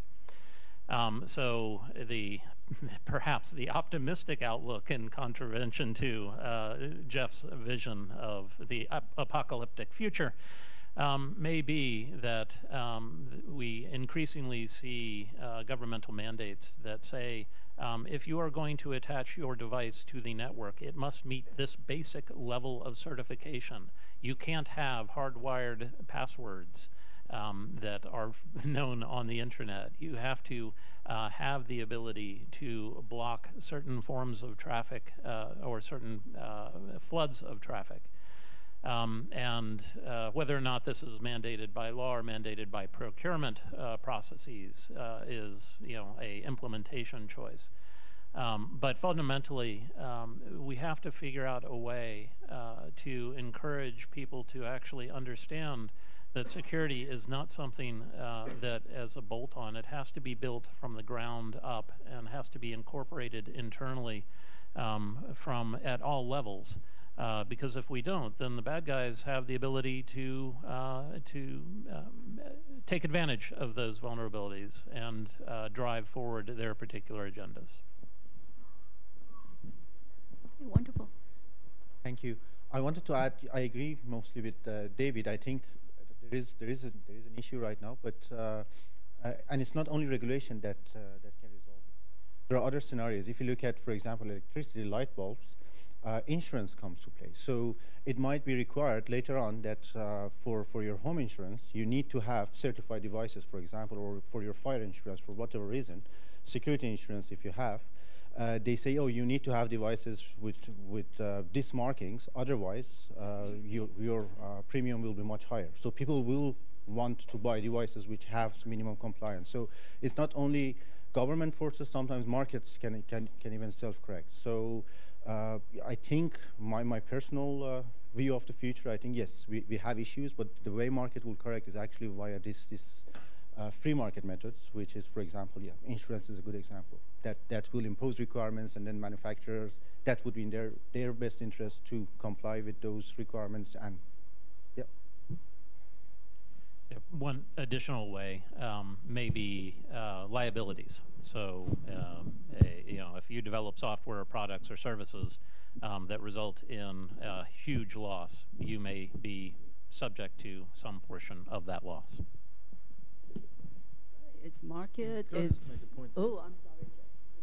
Let me say in response that they were perfectly good baby web monitors. the camera was great. The microphone was perfect. It did exactly what it said it was going to do. It's just that it did a bit more. And each baby webcam monitor did not invoke disaster.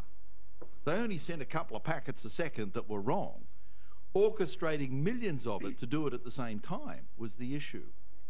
Was the baby webcam monitor the problem? Some would say yes, but I would actually say no, it was a baby webcam monitor. And that it was actually the context and machinery that turned it into something evil and ugly. And so it's not as simple in my mind as regulating the product. Because in some ways, it's the environment in which the product is deployed that causes our problems, not that the product does a few DNS queries. But if, if as a citizen you're uh, uh, liable for publishing any photo of a baby without permit or whatever, something like that, then you will take care of buying which device you select, All and you will look into any kind of credentials on the device that hey, this actually protects you from that, and it and the manufacturer is in, is insured. So if you're It, it didn't leak pictures. It didn't do anything wrong. It just sent No, a I'm- couple of DNS queries I'm just off trying to to say one as- as an example, And, and so, as I said, it's not that the product was bad. The product was perfectly good and fit for purpose. It just had a few extra features.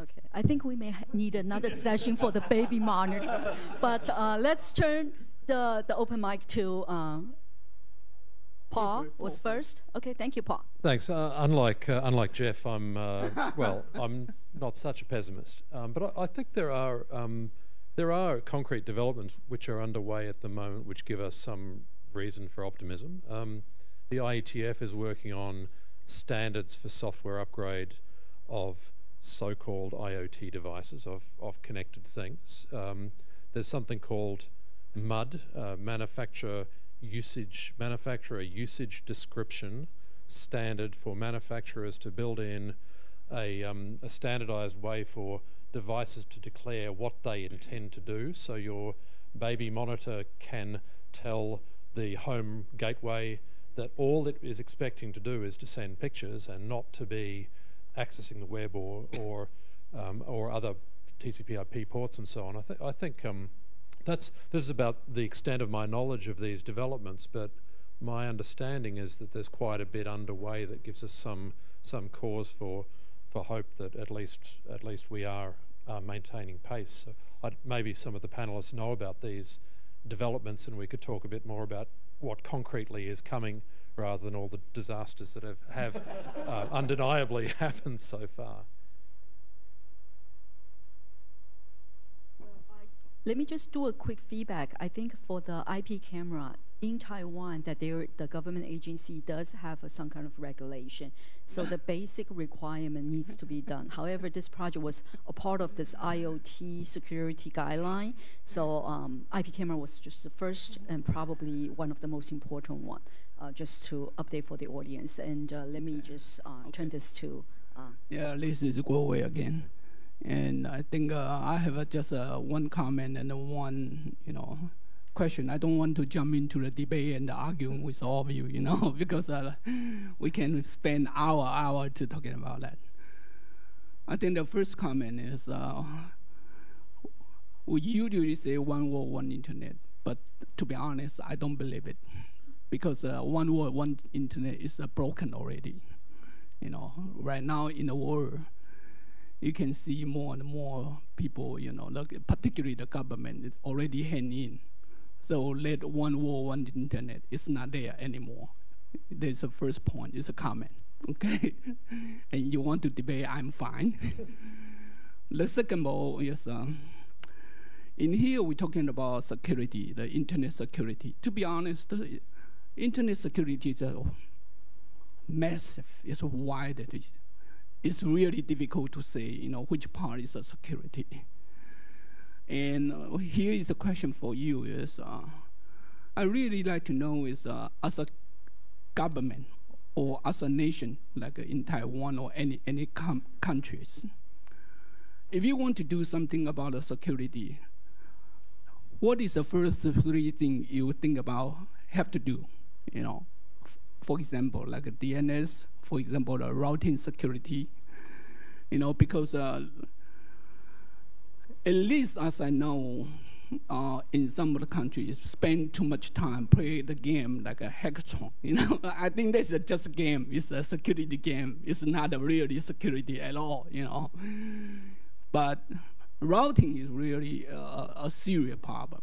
You know, and routing, how we can do it, make it really better and uh, in, in a much reliable way because. Uh, we see a lot of routing fault and routing problems, and they actually is uh, much serious to impact to the, you know, the, the country or the society securities. But in generally, the routing actually is not really uh, the people or the government or the industry really put the eyes on. you know, they thought about, well, if, if the packet can go through God, thanks, you know, that's already is good news, you know. So it's difficult to figure out, you know, how, how to really put the security, you know, in the routing in because uh, particularly for Taiwan, a lot of uh, problem, the traffic actually from China. And how we can make sure our routing is uh, not go through the China, you know, and, and really can secure or forget about the China, you say the country X, you know, just like, uh, you know, you remember the Snowden uh, issue happened. I think you heard that the German, Germany prime minister, he said he want to build a Europe net. But actually, it's not as simple because in the business way, you're thinking about that. In many cases, actually, you routing to the US and coming back is cheaper and faster. And that is a very difficult decision.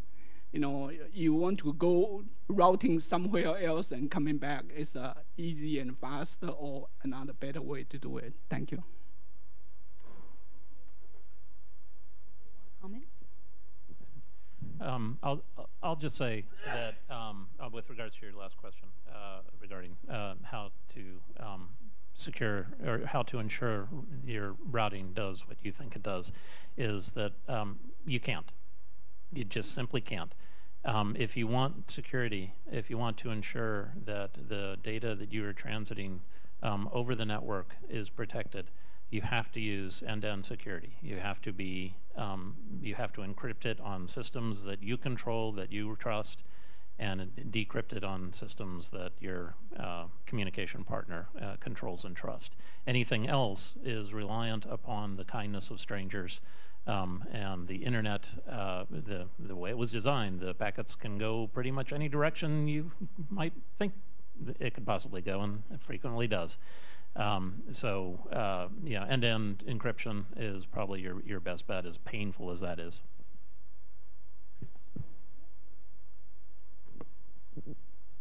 You know, I don't think there's a security answer. It's not that governments aren't doing something that they should. I'd like to be optimistic about that, but there's no hope for that. but what can governments do? Oddly enough, much the same as the private security consultants. Make it easier to attack someone else than attack you.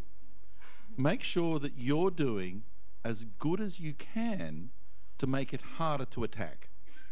Name registrations in TW should be protected by multi-factor authentication. You shouldn't just have passwords. That's crazy in this day and age. DNS validation should DNSSEC validation should be in all of your DNS infrastructure in this country. You should be running secure, capable resolvers in the DNS and not forcing the DNS traffic to go out of the country. These are basic steps that at least make it easier to attack someone else than attack your national infrastructure. Can't stop the attack, can make it harder to attack inside. You should also encourage the castle builders to come and build castles in here. Because if our real defense right now is to build massive content castles, then build them. Because if that's the best answer we have, encourage it. Don't just decry it, but let it happen.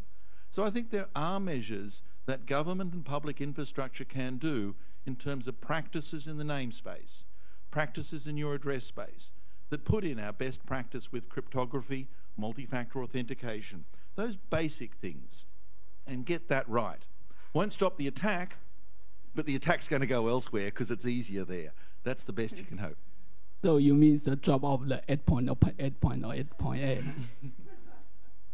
Okay, I am going to be um, asking our panelists. I know that uh, I would like to leave the last 10 seconds, maybe at the end of the session, to answer one of the comments uh, from our audience that what is the first thing you will do for the security? Okay, so think about that. And we use that as a closing before I get to um, our perhaps the last question from the open mic. Thank you. Thank you. I'm Inju Chen from Taiwan Institute of Economic Research. Uh, I have two questions.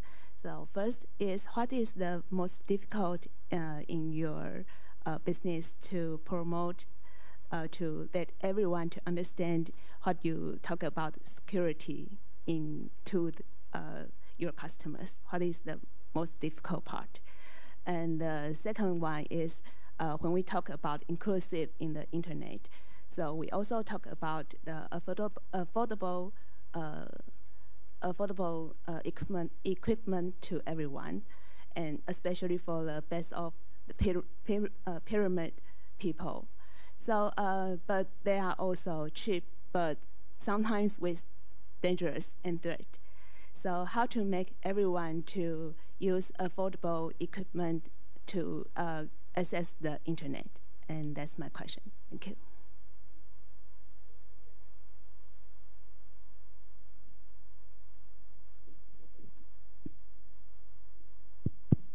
Well, uh, I try to answer first question you raised uh, about uh, the difficult. What's the most difficult things to communicate with the people about uh, cybersecurity? Actually, um, uh, I, I, think uh, in the cybersecurity committee or the cybersecurity administrator in commercial sector or government agency, it's easy. The most difficult part is how to convince the big boss, okay, the CEO, the the government head because uh, for them, you know, the security is the, you know, kind of a, like a burden because there's nothing good for their productivity.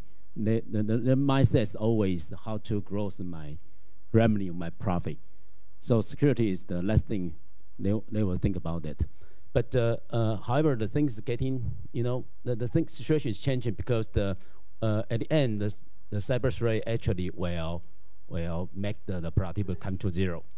So this is the timing uh, the high-level people start to think about that. But how to communicate to you know that kind of people? They don't have any concept about security, even you know the IT stuff. So how to communicate them is the most difficult. However, I think it's the most most important thing we need to do. Okay. Well, I guess in the interest of time, we can probably have a lot of the discussion off off hour, and I just want to say that. Um, I love security, and that's why we're here. And uh, um, why don't we go back to around the table? That what do you think is the most important thing, or the first thing that you do when you're thinking about security? Dave, you want to give a quick answer?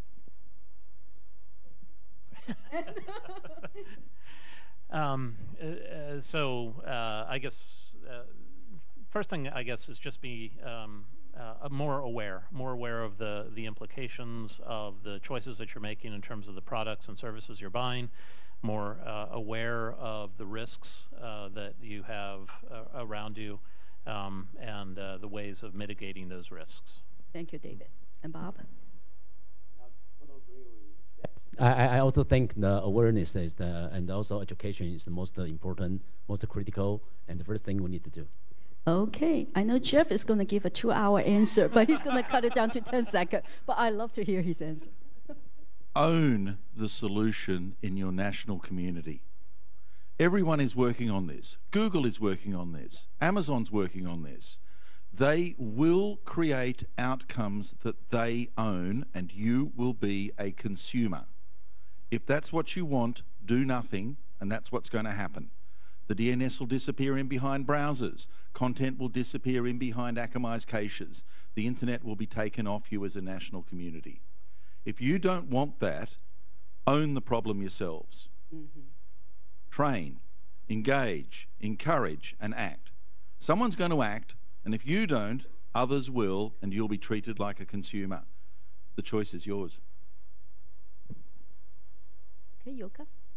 Well, I would say the um, collaboration would be the key um, in, in security uh, because you cannot really uh, solve a single um, incident only by yourself um, since the internet is supported by different uh, stakeholders um, uh, like domains, IP address, network, everything is combined. So when you when you have an, when you're in trouble, you need help from those different stakeholders uh, in order to solve problems. So have a lot of good connection and uh, you know working relationship with the different stakeholders um, collaboration will be the uh, one of the keys um, in security i believe Wonderful. I want to thank all the panelists who comes from all different areas, very diversified the answers. I love it. And I love security.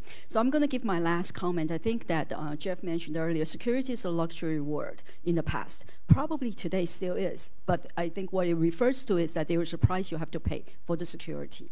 And that, that's just the, the fundamental of it. So thank you very much. I'm sorry I took a lot of your um, coffee break time. So um, let this uh, session close at this uh, adjourn. Thank you.